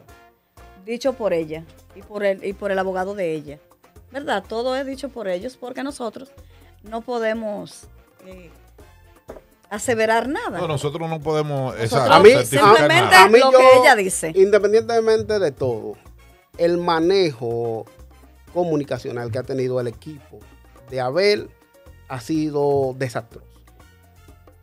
Siempre. Desastroso en el sentido de que eh, cuando dieron el primer comunicado, eh, dicen que, que Abel tuvo, tuvo pagando durante la campaña mensualidades para evitar que eso saliera a la luz pública. Ad- admiten eso. Y segundo, eh, piden una prueba de, de paternidad. Bueno, ahí automáticamente ya sabemos que algo, algo hay porque Él na- admitió haber tenido- nadie paga. Él Admitió, haber admitió tenido la, relación. Sí, Nadie admitió la admitió la Pero relación. ya recientemente eh, eh, hubo un comunicado en el que Abel dice sí, eh, admite que hubo, que hubo la relación porque no tenía de otra que admitirlo. Pero entonces eh, nuevamente habla de la prueba de paternidad como que ese sería su salvoconducto. Yo creo que él no se salva como quiera, que, que él como quiera eh, cometió Es ahí. un escándalo. Igual si es como la chica dice, que él, que él tuvo conocimiento desde el primer momento de la existencia de ese niño, ha sido cobarde e irresponsable Así por es. no asumir la paternidad de un hijo. Sí, porque ahora él quiere el ADN, pero él pudo haberla hecho. Porque oye lo que te voy a decir con en aquel relación... momento. Y ya esto no, tuviera, no tuviéramos en esta situación No, ahora. oye lo que te voy a decir en relación a ese tema. Los padres y las madres que tienen hijos e hijas fuera del matrimonio generalmente suelen ocultar, ocultarle la paternidad, ocultar el progenitor de ese niño, de esa niña. ¿Para qué tú piensas que lo ocultan? ¿Por qué lo ocultan? ¿A quién protegen? ¿A quién cuidan? Porque quizá como la persona es casado, este, pues la familia pudiera acusarla. de Estoy que cuidándolo a él, me estoy cuidando yo, no quiero que se sepa, no quiero Un escándalo, asunto de reputación y eso. un asunto, pero ¿dónde va a parar el derecho de ese niño, niña o niña de saber quién es su padre o quién es su madre? Tú estás pensando en ese niño, tú estás pensando en esa niña. No, tú No. estás pensando en cuidar tu conducta, pero ya tú fuiste, cometiste un acto, sea de, de, de- de una conducta no apta o apta, pero cometiste un, un- si fue con una menor de edad, un delito. Porque conozco varios padres y madres que no le dan, no le dicen, no dicen cuál es el, el progenitor o la progenitora de, sus, de su hijo, debido a cuidar su reputación. Por cuidarse ellos del qué dirán. Sí. Pero tú no estás pensando nunca en tu hijo. No, ese Tú no estás es pensando en el niño. La víctima real. Sea de todo. responsable. Sea responsable. Si la mujer lo quiere perdonar, que lo perdone. Y si lo va a dejar, que lo deje. Aprenda a asumir la consecuencia de sus actos. Porque todo tiene un régimen de consecuencias. Debe cumplirse un régimen de consecuencias. Correcto. Y es lo que creo que ha pasado. Que el señor Abel Martínez, como es un político, es una figura pública, él quiso salvaguardar su reputación. Pero debiste afrontar esa realidad. Lo bonito y quizá es- hubiese sido menos dañino que ahora Y traumático. y traumático Porque ya él es una figura. para eh, su carrera política. Ya en estos momentos él estaba converti- convertido En en, un una figura presidencial. presidencial. este, eh, estaba en, en un punto que ya sus pronunciamientos hacían eco nacional. Correcto. ¿Quién va a respetar la palabra de un hombre que en campaña prometía proteger la mujer, proteger la niñez, eh, inclusive con un proyecto tan bonito como el que presentó su esposa como primera dama? Y ahora que se presente, ah, pero que él tuvo un caso de violación. Eso Porque es- no quiso por ejemplo, un hijo. en Estados Unidos ese no hubiese hablado más. Sí, Aquí no, tenemos- aquí se dan una que- falta. que- Hay que esperar el ser- ADN. Tenemos que ser un poquito No, porque coherentes. es que ya él Pero el admitió. escándalo está Nosotros hecho. estamos Pero hay- jugando lo, hay lo- lo que él ya. Él admitió. admitió, permiso, Sí. él admitió la relación. La En relación, el primer ya. comunicado que él, que él efectuó, admite la... Él niega que ella fuera menor. incluso. Ahora, exactamente. Ahora hay que ver menor. qué grado de verdad. Es que nos dan Ay. los números. Bueno, no No, dan. no, entonces- porque si ella tiene 26 años. Entonces, no estamos hablando, no, estamos no hablando 26, ni de un caso de 30 y pico, manutención. es. Escucha, No, son 26. no estamos hablando ni de un caso de manutención, no estamos hablando ni de un caso, ni un caso de violación, ni estamos hablando de un caso de, de- estamos hablando de un caso de infidelidad. Exacto. podríamos en este decir. caso, sí. ¿Me entiendes? Ahora, de ser cierto todas las acusaciones que ella dice, entonces ahí es que estamos hablando de las cuestionantes que tú planteas. Y en el caso de, de la otra persona, es perfectamente normal que una persona, él no le quiere reconocer al hijo, ella se lo comunica según ella dice, y que ella busque otra pareja. Y ella no hizo ADN. Y que le pegue el niño a esa pareja.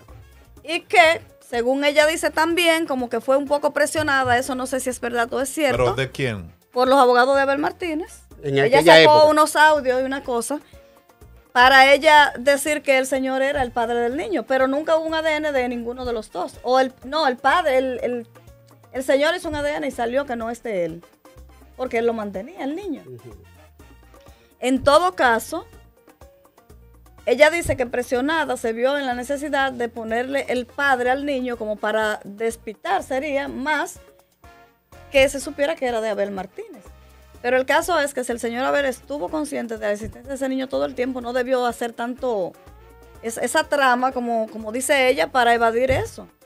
debió asumir, tal como usted dice, con responsabilidad. Porque quizás y- si hubiese cumplido todo y le dice a ella, mira, no me conviene por esto, por lo otro y por mi esposa, eh, quizá más adelante, pero yo lo voy a mantener. Quizá, pero fue que le quedó mal a ella, ella se siente burlada. Y también no estoy de acuerdo con que la revictimicen a ella tampoco, porque en su momento fue una víctima. Mira, tú eh, has sido consultora, igual que yo, de relaciones públicas.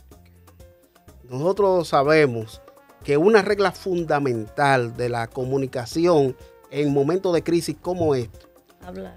es tú hablar, pero primero tú tienes que tener conocimiento de toda la verdad para saber cuáles son tus límites. Ante una crisis no se puede callar jamás. Él debió declarar y decir, ¿Qué sucede? El equipo de, de abogados asumió la comunicación La y eso es un error. un error. un error. Porque, error. porque lo primero es que cuando usted sabe que cometió el hecho o que está en falta, usted no se no, no manda a un abogado a hablar. Usted sale la usted cara, con la cara, claro. con la cara eh, entristecida, sale usted y da, y da lamentando lo eh, sucedido, valga la dispuesto redundancia, a la responder, cara.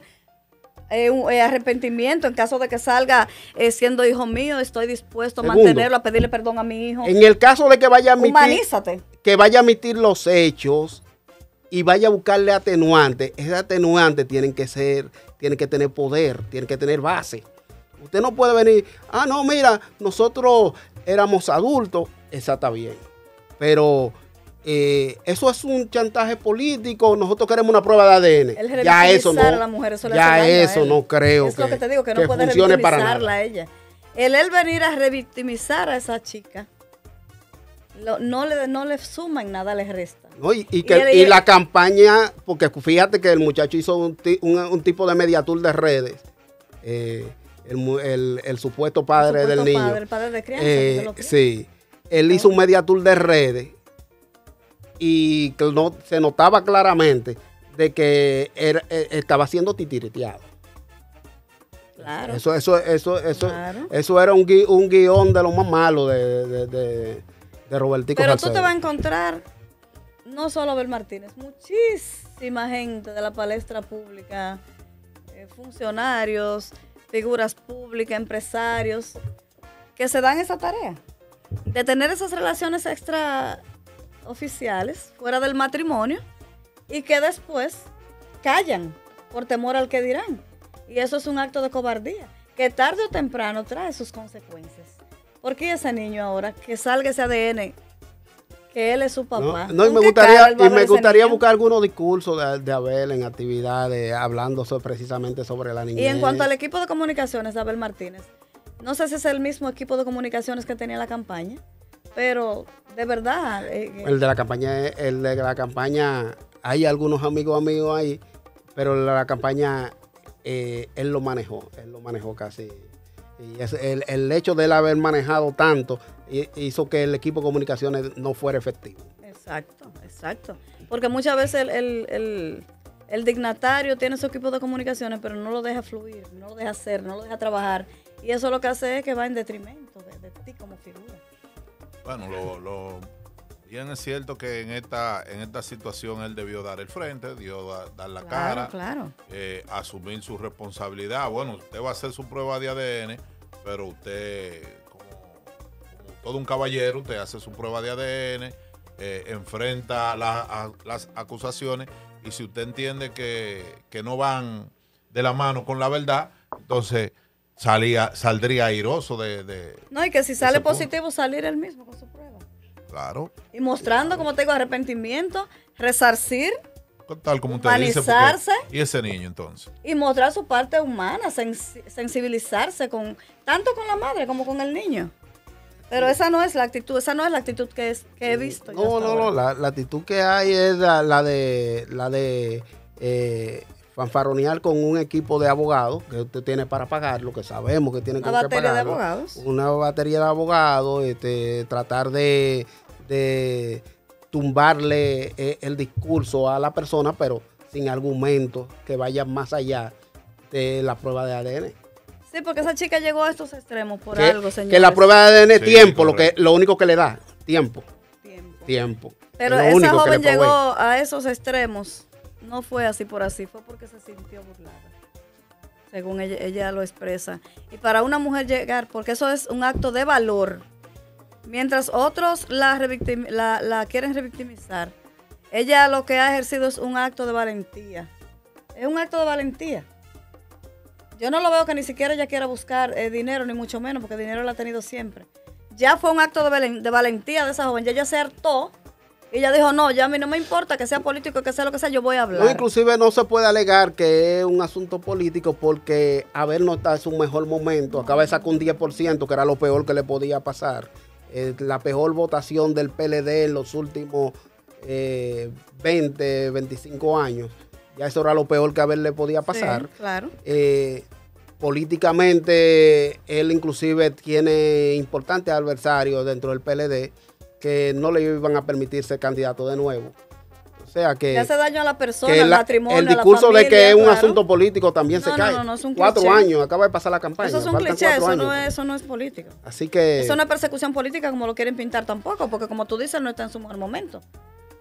ni el PLD tampoco. Entonces, Exacto. Eh, el asunto es que, en conclusión, en conclusión, eh, la persona que algún día aspiran a tener importancia, relevancia, interés en la población que vota, en el votante, tiene que pensar sus pasos prácticamente desde, desde el nacimiento un presidente de la República, un representante de la nación, en un cargo político. tiene que saber los pasos que da, sobre todo en, en esta etapa joven donde la gente comete errores que después quiere tapar. Pero no todo es, es fácil de, de ocultar. Así es. Bueno, señores, este, hemos, vamos a despedir a Rosa. Gracias, Rosa, por estar aquí con nosotros. Gracias Esperamos a ustedes por que- invitarme. Que no sea la última vez que tú pronto No, estés no, aquí no, con no, nosotros. no, vuelvo pronto. Muchísimas gracias, Rosa. Eh, Gracias a ustedes. Muy oportuna tu intervención en, en este espacio. Tal como dice el compadre, esperemos que su visita siga siendo más frecuente. No, vendré, vendré siempre que me inviten, aquí, que me inviten, aquí estaré. Seguimos con gente RD. Eh, yo confundido, porque tú sabes que eh, hace unos días la capital de la República Dominicana se volvió un caos y algo que yo solamente había visto en películas es que, Llegó un apagón a los semáforos. que alguien apague los semáforos. No sé, no que llegó un apagón a los semáforos. Hackearon los semáforos. Ojalá y a mí me diga alguien. ah, Ojalá y que me diga alguien. No, Atentaron en contra de los semáforos. fue que se fue la luz. No fue que se fue la luz. No, no fue que se fue la luz. Fue que la Fue empresa. Trancol, que está Fue intencional y no hay nadie preso. el contrato de eso, agarró un control remoto, como hizo el abogado, el señor abogado, y apagó los semáforos. Así mismo. Y eso se puede hacer. Se Yo no puede, sabía que esa vaina puede, podía. Se puede, se puede. Esa maldita vaina puede pasar. No sabíamos que se podía, pero demostraron que puede. Imagina sí, que en sí. Nueva York apaguen los semáforos. No, eso es un país, Ah, pues no, ¿qué somos nosotros? una imitación mala. Oye, mire, cuando yo vi. Cuando Una yo vi imitación mala. Al director del Intran en una rueda de prensa le puede durar tres días callado. Tres días callado, callado. Y en una rueda de prensa el señor sentarse a decir que estaba rescindiendo el contrato y que el Estado Dominicano está asumiendo el control de los de, semáforos. O sea, que no tenía control. No tenía control de los semáforos. Ah, Eso lo podía hacer, porque déjame decir una cosa, el, el relato es tan feo que cuando él llamó a la empresa, porque él tiene que darle una declaración a la empresa y no encontraba qué decirle a la prensa. ¿Qué le dijo? Cuando él llama ¿Qué- a la empresa, ¿Cuál es la respuesta que le da la la empresa? empresa le dijeron, no, nosotros lo pagamos. Así. Entonces decidimos pagar eso. ¿Y qué hizo el Estado en ese, en ese sentido? Ese fue el, ese es el problema. El Estado duró tres días callado. Ah, lo arreglaron el problema, lo asumieron callado. Y Yo vi un comunicado que dijeron, en breve Sí. par no de la tarde vamos a restablecer los servicios. no, estaban- no estaban restablecidos. No estaba Ese comunicado el sábado todavía no estaban restablecidos. No estaba restablecido. Se restableció en la primera, en la Pero en una el pregunta. mediodía del sábado. Una pregunta, adelante. una pregunta. No hay nadie preso. No hay nadie preso y no, y no tan solo eso. Ya todo se quedó ahí. Que doña Milagro Ortivoz dijo que no le gusta que llamen anulación de contrato cuando el contrato tiene que seguirse eh, cumpliendo. O sea que el Estado tiene que seguir pagando. Tiene que seguir pagando. El Estado tiene que seguir. Y veo los semáforos cumpliendo. encendidos que quiere dejar dicho que están dando un servicio. No, y si dan un servicio, lo están pagando. Y ahora lo, lo, lo dije ¿Y qué, parte, ¿Y qué parte fue que intervino eh, el Estado entonces? Bueno, lo que sucede, lo que me imagino es que el Estado asumió el- ese control remoto que, que tiene sobre, que tenía esa empresa sobre los semáforos. remoto. Y la empresa eh, estará, me imagino yo, prestando el wifi, porque algo tiene, algo tiene que haber puesto ellos, aunque sea el wifi, tienen que haber puesto.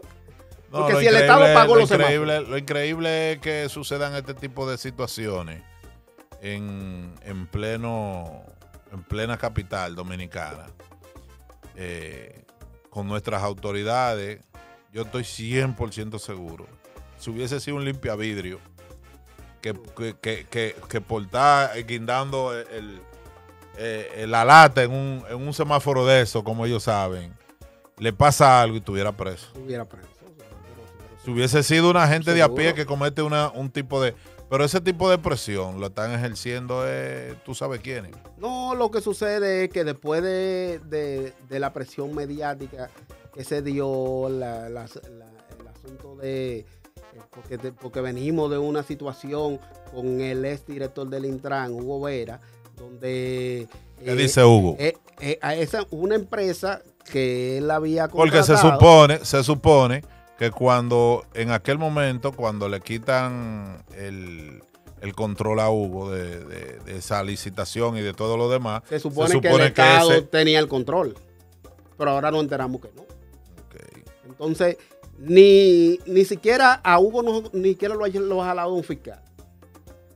y lo van a llamar. No, no ha dado una declaración para para explicar qué pasó ahí. Eso le dieron para atrás. El gobierno no ha hecho una semanal para, para explicar qué pasó ahí. Sin embargo, sin embargo, eh, nos encontramos con esto y otra vez nos replanteamos qué vamos a hacer No, con los y, la, y la semáforos. pre- y la pregunta, la pregunta del millón es, luego de ese, de ese blackout de los semáforos, ¿cuáles son las medidas que se han tomado para que eso no vuelva a suceder?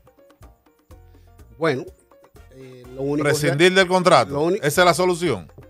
Vamos a decir que esa sea la solución, porque la empresa mostró una, mostró una rebeldía y una mala fe. Inclusive puede haber algún acápite dentro de de ese contrato, esperemos ¿Tiene, que sí, tiene el Estado, ¿Tiene el Estado cuantificado? que le faculte anular el en contrato por cuánto esa le- falla. en cuánto le, en- o sea, determinó cuánto tuvo de pérdida, tuvimos de pérdida por, por, por ese tipo de, maniobra. O cuántas personas pudieron morir porque, ne- porque necesitaban llegar rápido a un hospital. Correcto. Eh, cuáles personas no pudieron llegar al aeropuerto y perdieron un vuelo.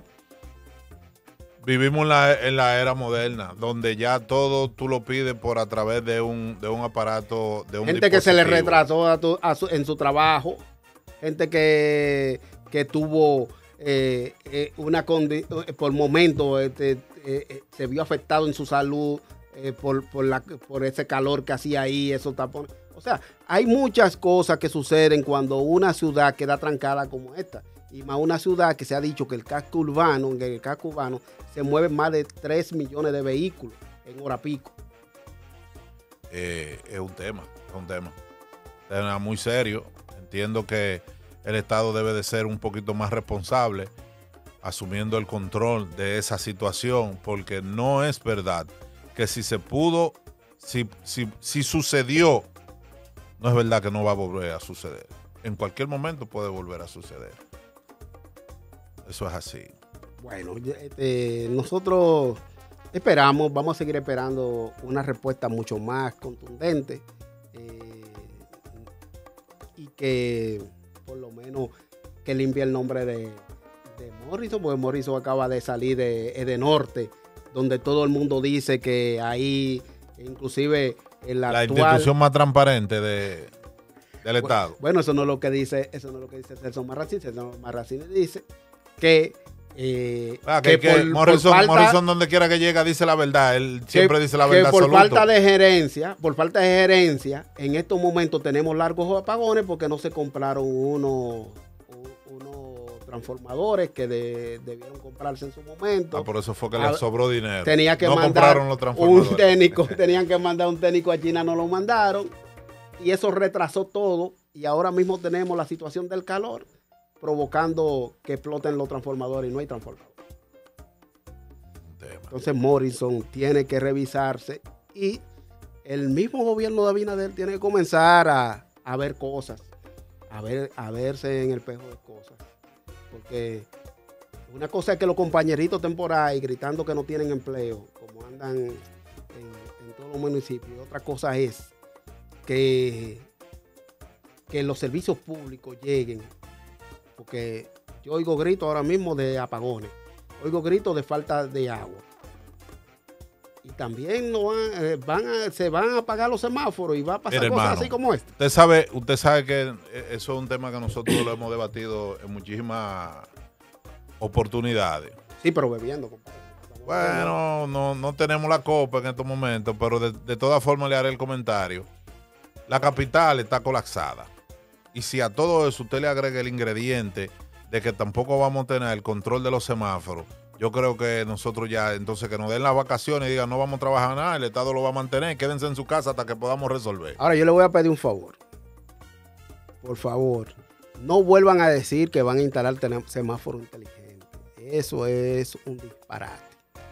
Decir que van a instalar semáforo inteligente cuando todavía aquí no se tiene una fotografía de un, de, eh, de un vehículo. No se hace una fotografía de un vehículo que comete una imprudencia y con esa fotografía se le pone una multa. No hablemos de semáforo inteligente hasta que todavía no lleguemos a ese nivel. Porque eh, a veces escuchamos este discurso, porque Leonel habló de eso en el 2008, habló de los semáforos inteligentes. Y mira dónde estamos. Estamos en el 2023 y todavía 24. estamos el 24, perdón. Tiene Ah, un, que yo- tiene un- tiene un año, usted, usted tiene un que par de días quitándose Navidad para mí no ha pasado. Bueno, usted la arrancó con Maduro ahora el día primero. Entonces, si, si tenemos, si todavía en el 2024 estamos hablando de semáforo inteligente, quiere decir que nosotros, eh, como Mira, sociedad, una- tenemos una- que revisar. Hay una situación real, que es el caos del tránsito. Todos los dominicanos que tenemos que desplazarnos de un punto A a un punto B en la mañana o en la tarde para nuestro trabajo, tenemos que invertirle solamente en tiempo, entre hora y media y dos horas en cada... eh, eh, en cada Si no se cada- apagan los semáforos. Claro, si no se apagan los semáforos. En cada eh, hora pico. Eso estamos hablando que estamos invirtiéndole entre 3 y 4 horas diarias solamente al tránsito. Eso, eso, eso, usted sabe que nosotros lo hablamos. Usted sabe que, que, que, que, que- que ahí eso me da, me da risa porque me acuerda, me acuerdo un chiste. Me acuerdo un chiste, ¿sabes que a Hugo Vera le gustaban mucho los chistes? ¿eh? Los chistes malos. Sí, los chistes El malos. último que hizo fue el peor. Más nunca ha hecho un chiste, no lo he visto en ningún lado. Sí, pero, pero, Más nunca ha hecho un chiste. pero hay, un, hay un famoso chiste de los semáforos inteligentes que decían de que, que, que, que, apa- que los semáforos inteligentes están funcionando. Entonces viene un, un AME, era en ese tiempo AME, un Sí, AME bruto a dirigir el tránsito por- y sustituía el semáforo. Estando funcionando el semáforo. Entonces venía el, el AME Pero bruto. lo que pasa es que a veces eh, se, se implementan regulaciones y ciertas prácticas sin tomar en cuenta los factores que, que son los que, que rigen realmente eh, ese tipo de situaciones. Pero lo- la DGC hoy día yo les reconozco que hacen un trabajo muy encomiable, muy tan fajado, porque no es fácil, no es fácil. Usted, usted se para, usted se levanta a las 4 de la mañana y ya usted ve todos esos conos cruzando los puentes. Vamos a mandarle, tratando vamos de un organizar los saludo a la DGC que está ahí frente a la bomba de. Va a ser chistecito malo. Un saludo a esa morenita bella, preciosa que está ahí siempre ahí frente Sí. a la bomba de Lomina. Macana que ella, cuando, muy macana. cuando ella vea esa guagua en la que anda el compadre Uber, que, que la deje pasar ahí para coger el carril expreso, porque también él tiene derecho. Sí, sí, sí. Me tiene, como dicen en la guardia, cargado ahí. Pero hay que reconocerle su trabajo a, a, a los DGC porque bregar con todos los vehículos y motores que se desplazan desde Santo Domingo Oeste, Norte, hacia el distrito, todas las mañanas y toda la tarde, no es fácil. Es una, es una tarea que desde el punto de vista laboral, creo que tienen una tarea muy fuerte, muy, muy bastante fuerte. Así es. Mire, compadre, eh, ya para agotar estos minutos finales, eh, quiero tocar con, con usted eh, un tema eh, que me llama mucho la atención. Usted sabe que ahora hay una moda, porque lo- los negocios de, em- de emprendimiento son muchas veces de moda. Y hay una moda de que todo el mundo pone un- una empresa turística y comienza a dar servicio de, de operador turístico. Entonces se da el caso de empresas que están organizando con el boom que tiene a través de, de la facilidad de transporte que hay hacia allá, el boom que tiene el destino Colombia. Correcto. Tanto Medellín, eh, Bogotá, Cali, este, Cartagena. Sí. Sí. La gente está yendo mucho a Colombia, sobre todo los dominicanos, a, a pasársela bien porque allí dicen que con poco dinero usted es como si fuera un risol aquí a Punta Cana. Realmente no es poco dinero, eh, pero es, comparativamente, tú gastarías, con excepción del vuelo, tú gastarías igual yendo a Punta Cana que yendo a Colombia. Bueno, pues el asunto es, el asunto es que eh, se está dando un caso de que, y ahí andan las denuncias en las redes sociales a dos manos, de que muchos muchos tour operadores de esto han dejado enganchados a gente y cuando llegan allá no hay hoteles, no hay vuelo de regreso y, y sobre todo se da con Se presta para estar. con empresas que ofrecen unos paquetes atractivos.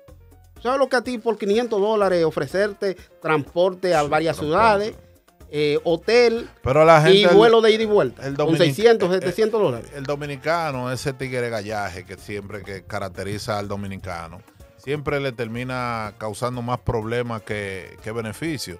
Porque todos sabemos el costo que tiene un vuelo hacia Colombia, que re- relativamente es más económico que a otras partes de, de- de Latinoamérica y de Estados Unidos.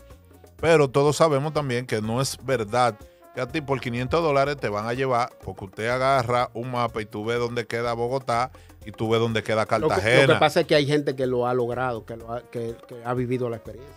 pero no con esa cantidad de dinero. Sí, sí, hay gente que No, ha no, no, no, con esa cantidad de dinero. Bueno, de hecho, por eso Yo fue te la- puedo decir que por te eso pudieron puede- hacer una estafa tan grande ahora te pueden dar. que ha causado el te escándalo. Te pueden dar, te pueden dar el vuelo y el alojamiento a través de el alojamiento dependiendo es un poco económico en algunos hoteles y Airbnb, pero no, no con 500 dólares te van a dar un pasaje ida y vuelta y te van a dar transporte de- del aeropuerto a- al hotel y, y a otras ciudades o, o al Peñón ese famoso que la gente siempre lo visita. No es verdad, hay muchas estafas, muchas estafas que se están dando precisamente por eso, porque se sin, sin estudiar eh, ningún tipo de, de, de oferta, la gente se lanza con lo primero que, que solicita. Yo les, les exhorto al que va a hacer ese tipo de turismo. Primero, cuando usted ve que una página le, des- le desactiva la caja de comentarios, usted tiene que entender. Claro. Y segundo, lo mejor es que usted arme su viaje, que usted se vaya a, a- a su agencia de hay viaje y arme su viaje. Correcto. Hay agencias de viaje que, eh, que son muy honestas, que tienen ya eh, el tiempo necesario para armarle. Le saldría un poquito, no ligeramente, un poquito más costoso, pero usted iría más seguro. Iría a los puntos que realmente, porque esa gente tiene negociaciones. Inclusive, yo he visto que hay una, unos influencers también que se da la tarea allá mismo en Colombia, que se dan la tarea de ellos armar este tipo de... Sí, claro que tú lo puedes hacer. Exacto. Lo puedes hacer siempre y cuando este, tú investigues bien y haga lo amarre necesario antes de abordar el destino. ¿Por qué sucede? Para tú... eh, Es una experiencia muy bonita. para, para tú eh, apartar un- un- una habitación de hotel, tú tienes que hacer un depósito. Si tú no hiciste el depósito, tú puedes haberlo, haber hecho lo que tú quieras. Tú tienes que hacer un depósito. Entonces, si tú no has hecho ese depósito, no te aparezca ya de que, que mira que yo hablé contigo por teléfono. Que eso no se maneja así. Eso no se maneja así. Que yo reservé. Que yo reservé. No, usted no ha reservado porque usted la reserva, en letra chiquita dice que la reserva se completa cuando usted hace el pago. No, yo les recomiendo. Yo sé que hay Airbnb que se, se- y, y cuando tú vas con el deseo de tú caminar distintos puntos y más en un país tan hermoso como es Colombia, cuando tú vas con, yo prefiero, les recomiendo al que lo haga, que vaya a hoteles que tengan un poquito más de un poquito más de reconocimiento. Son un poquito más costosos, pero usted se va a lo a lo seguro, como decimos nosotros aquí. ¿Por qué? Usted por un Airbnb va a pagar algunos 18 o 20 dólares, dependiendo por habitación. Bueno, de- de- Pero allá hay hoteles de 30, 35 dólares que son 1A y le incluyen a veces hasta el almuerzo o el desayuno. por lo menos. Correcto. Entonces, la gente lo que tiene es que realmente documentarse un poquito más, eh, investigar. Tú sabes que el dominicano no investiga, el dominicano mira, lee el titular y dice, vámonos por ahí. Sí, porque no es, no es que usted cogió para San Juan de la Maguana y que allá, hermano. de allá a San Juan usted se va a devolver. No. Si después que usted está en Colombia y usted tiene un vuelo de ida y vuelta de cinco días, usted no puede, no hay vuelta atrás, usted tiene Y que, que se lleven su menudito en los bolsillos, Sí, se sí, lo lleven, porque, importante. porque si Es tú llegaste allá y te, te quedaron mal, por lo menos aprovecha el tiempo. Por lo menos va a ir a comprar alguna pulsera. Sí, alguna sí. pulsera, cosa. Bueno, lo importante es que debemos cuidar eh, ese nombre de tu operador y que no llegue el momento de que una economía, porque estamos hablando de engaño a dominicanos, pero también esos mismos turoperadores son contratados para darle paseo aquí a Pero turistas. eso- Pero en- eso está pasando aquí, ahí en Punta Cana, en esa zona de Punta Cana, mucha gente llega, eh, hay Airbnb que los rentan hasta dos y tres veces. Hay gente creando páginas falsas con imágenes que están captando dentro de las mismas redes. Y, y cuando usted llega, está ocupado. Esas son las cosas que matan el turismo, ¿tú ¿sabías? Son las cosas que matan el turismo. Pero volvemos y reiteramos, hay, Falta de autoridad. Hay eh, turoperadores que, que sí tienen bastante tiempo ya eh, en, ese ejercicio y les recomendamos que se vayan por ahí para lo seguro. Y a David Collado, abran los ojos. Abran los ojos. Es posible que nosotros, que ahora, eh, con el auge que tiene el turismo en la República Dominicana, que el turoperador, por falta de regulación o de observancia de las autoridades, cometan este atropello contra dominicanos y contra extranjeros. Así que hay que abrir los ojos. Hay que abrirlo. Padre, terminó todo. Placer, compadre. Gracias, ya te saben, este, la próxima vez vamos a poner un vino, una cosa. Un vinito, sí. Y a nuestro invitado también. Sí, un quesito, una cosa. Está bien, no hay Porque nosotros cada vez que hacemos este ejercicio, eh, entre compadres nace de un ejercicio que nosotros hacemos de ponernos a hablar, pero siempre con un vino y Con con, un traguito, uno fluye una mejor, uno fluye mejor, Pero, sí. pero así seco, ¿no? bueno, señores, hasta la próxima semana. Yo soy David Ruiz, Ubermato, y esto es Gente RD. ¡Viva Expresión de Dominicanidad!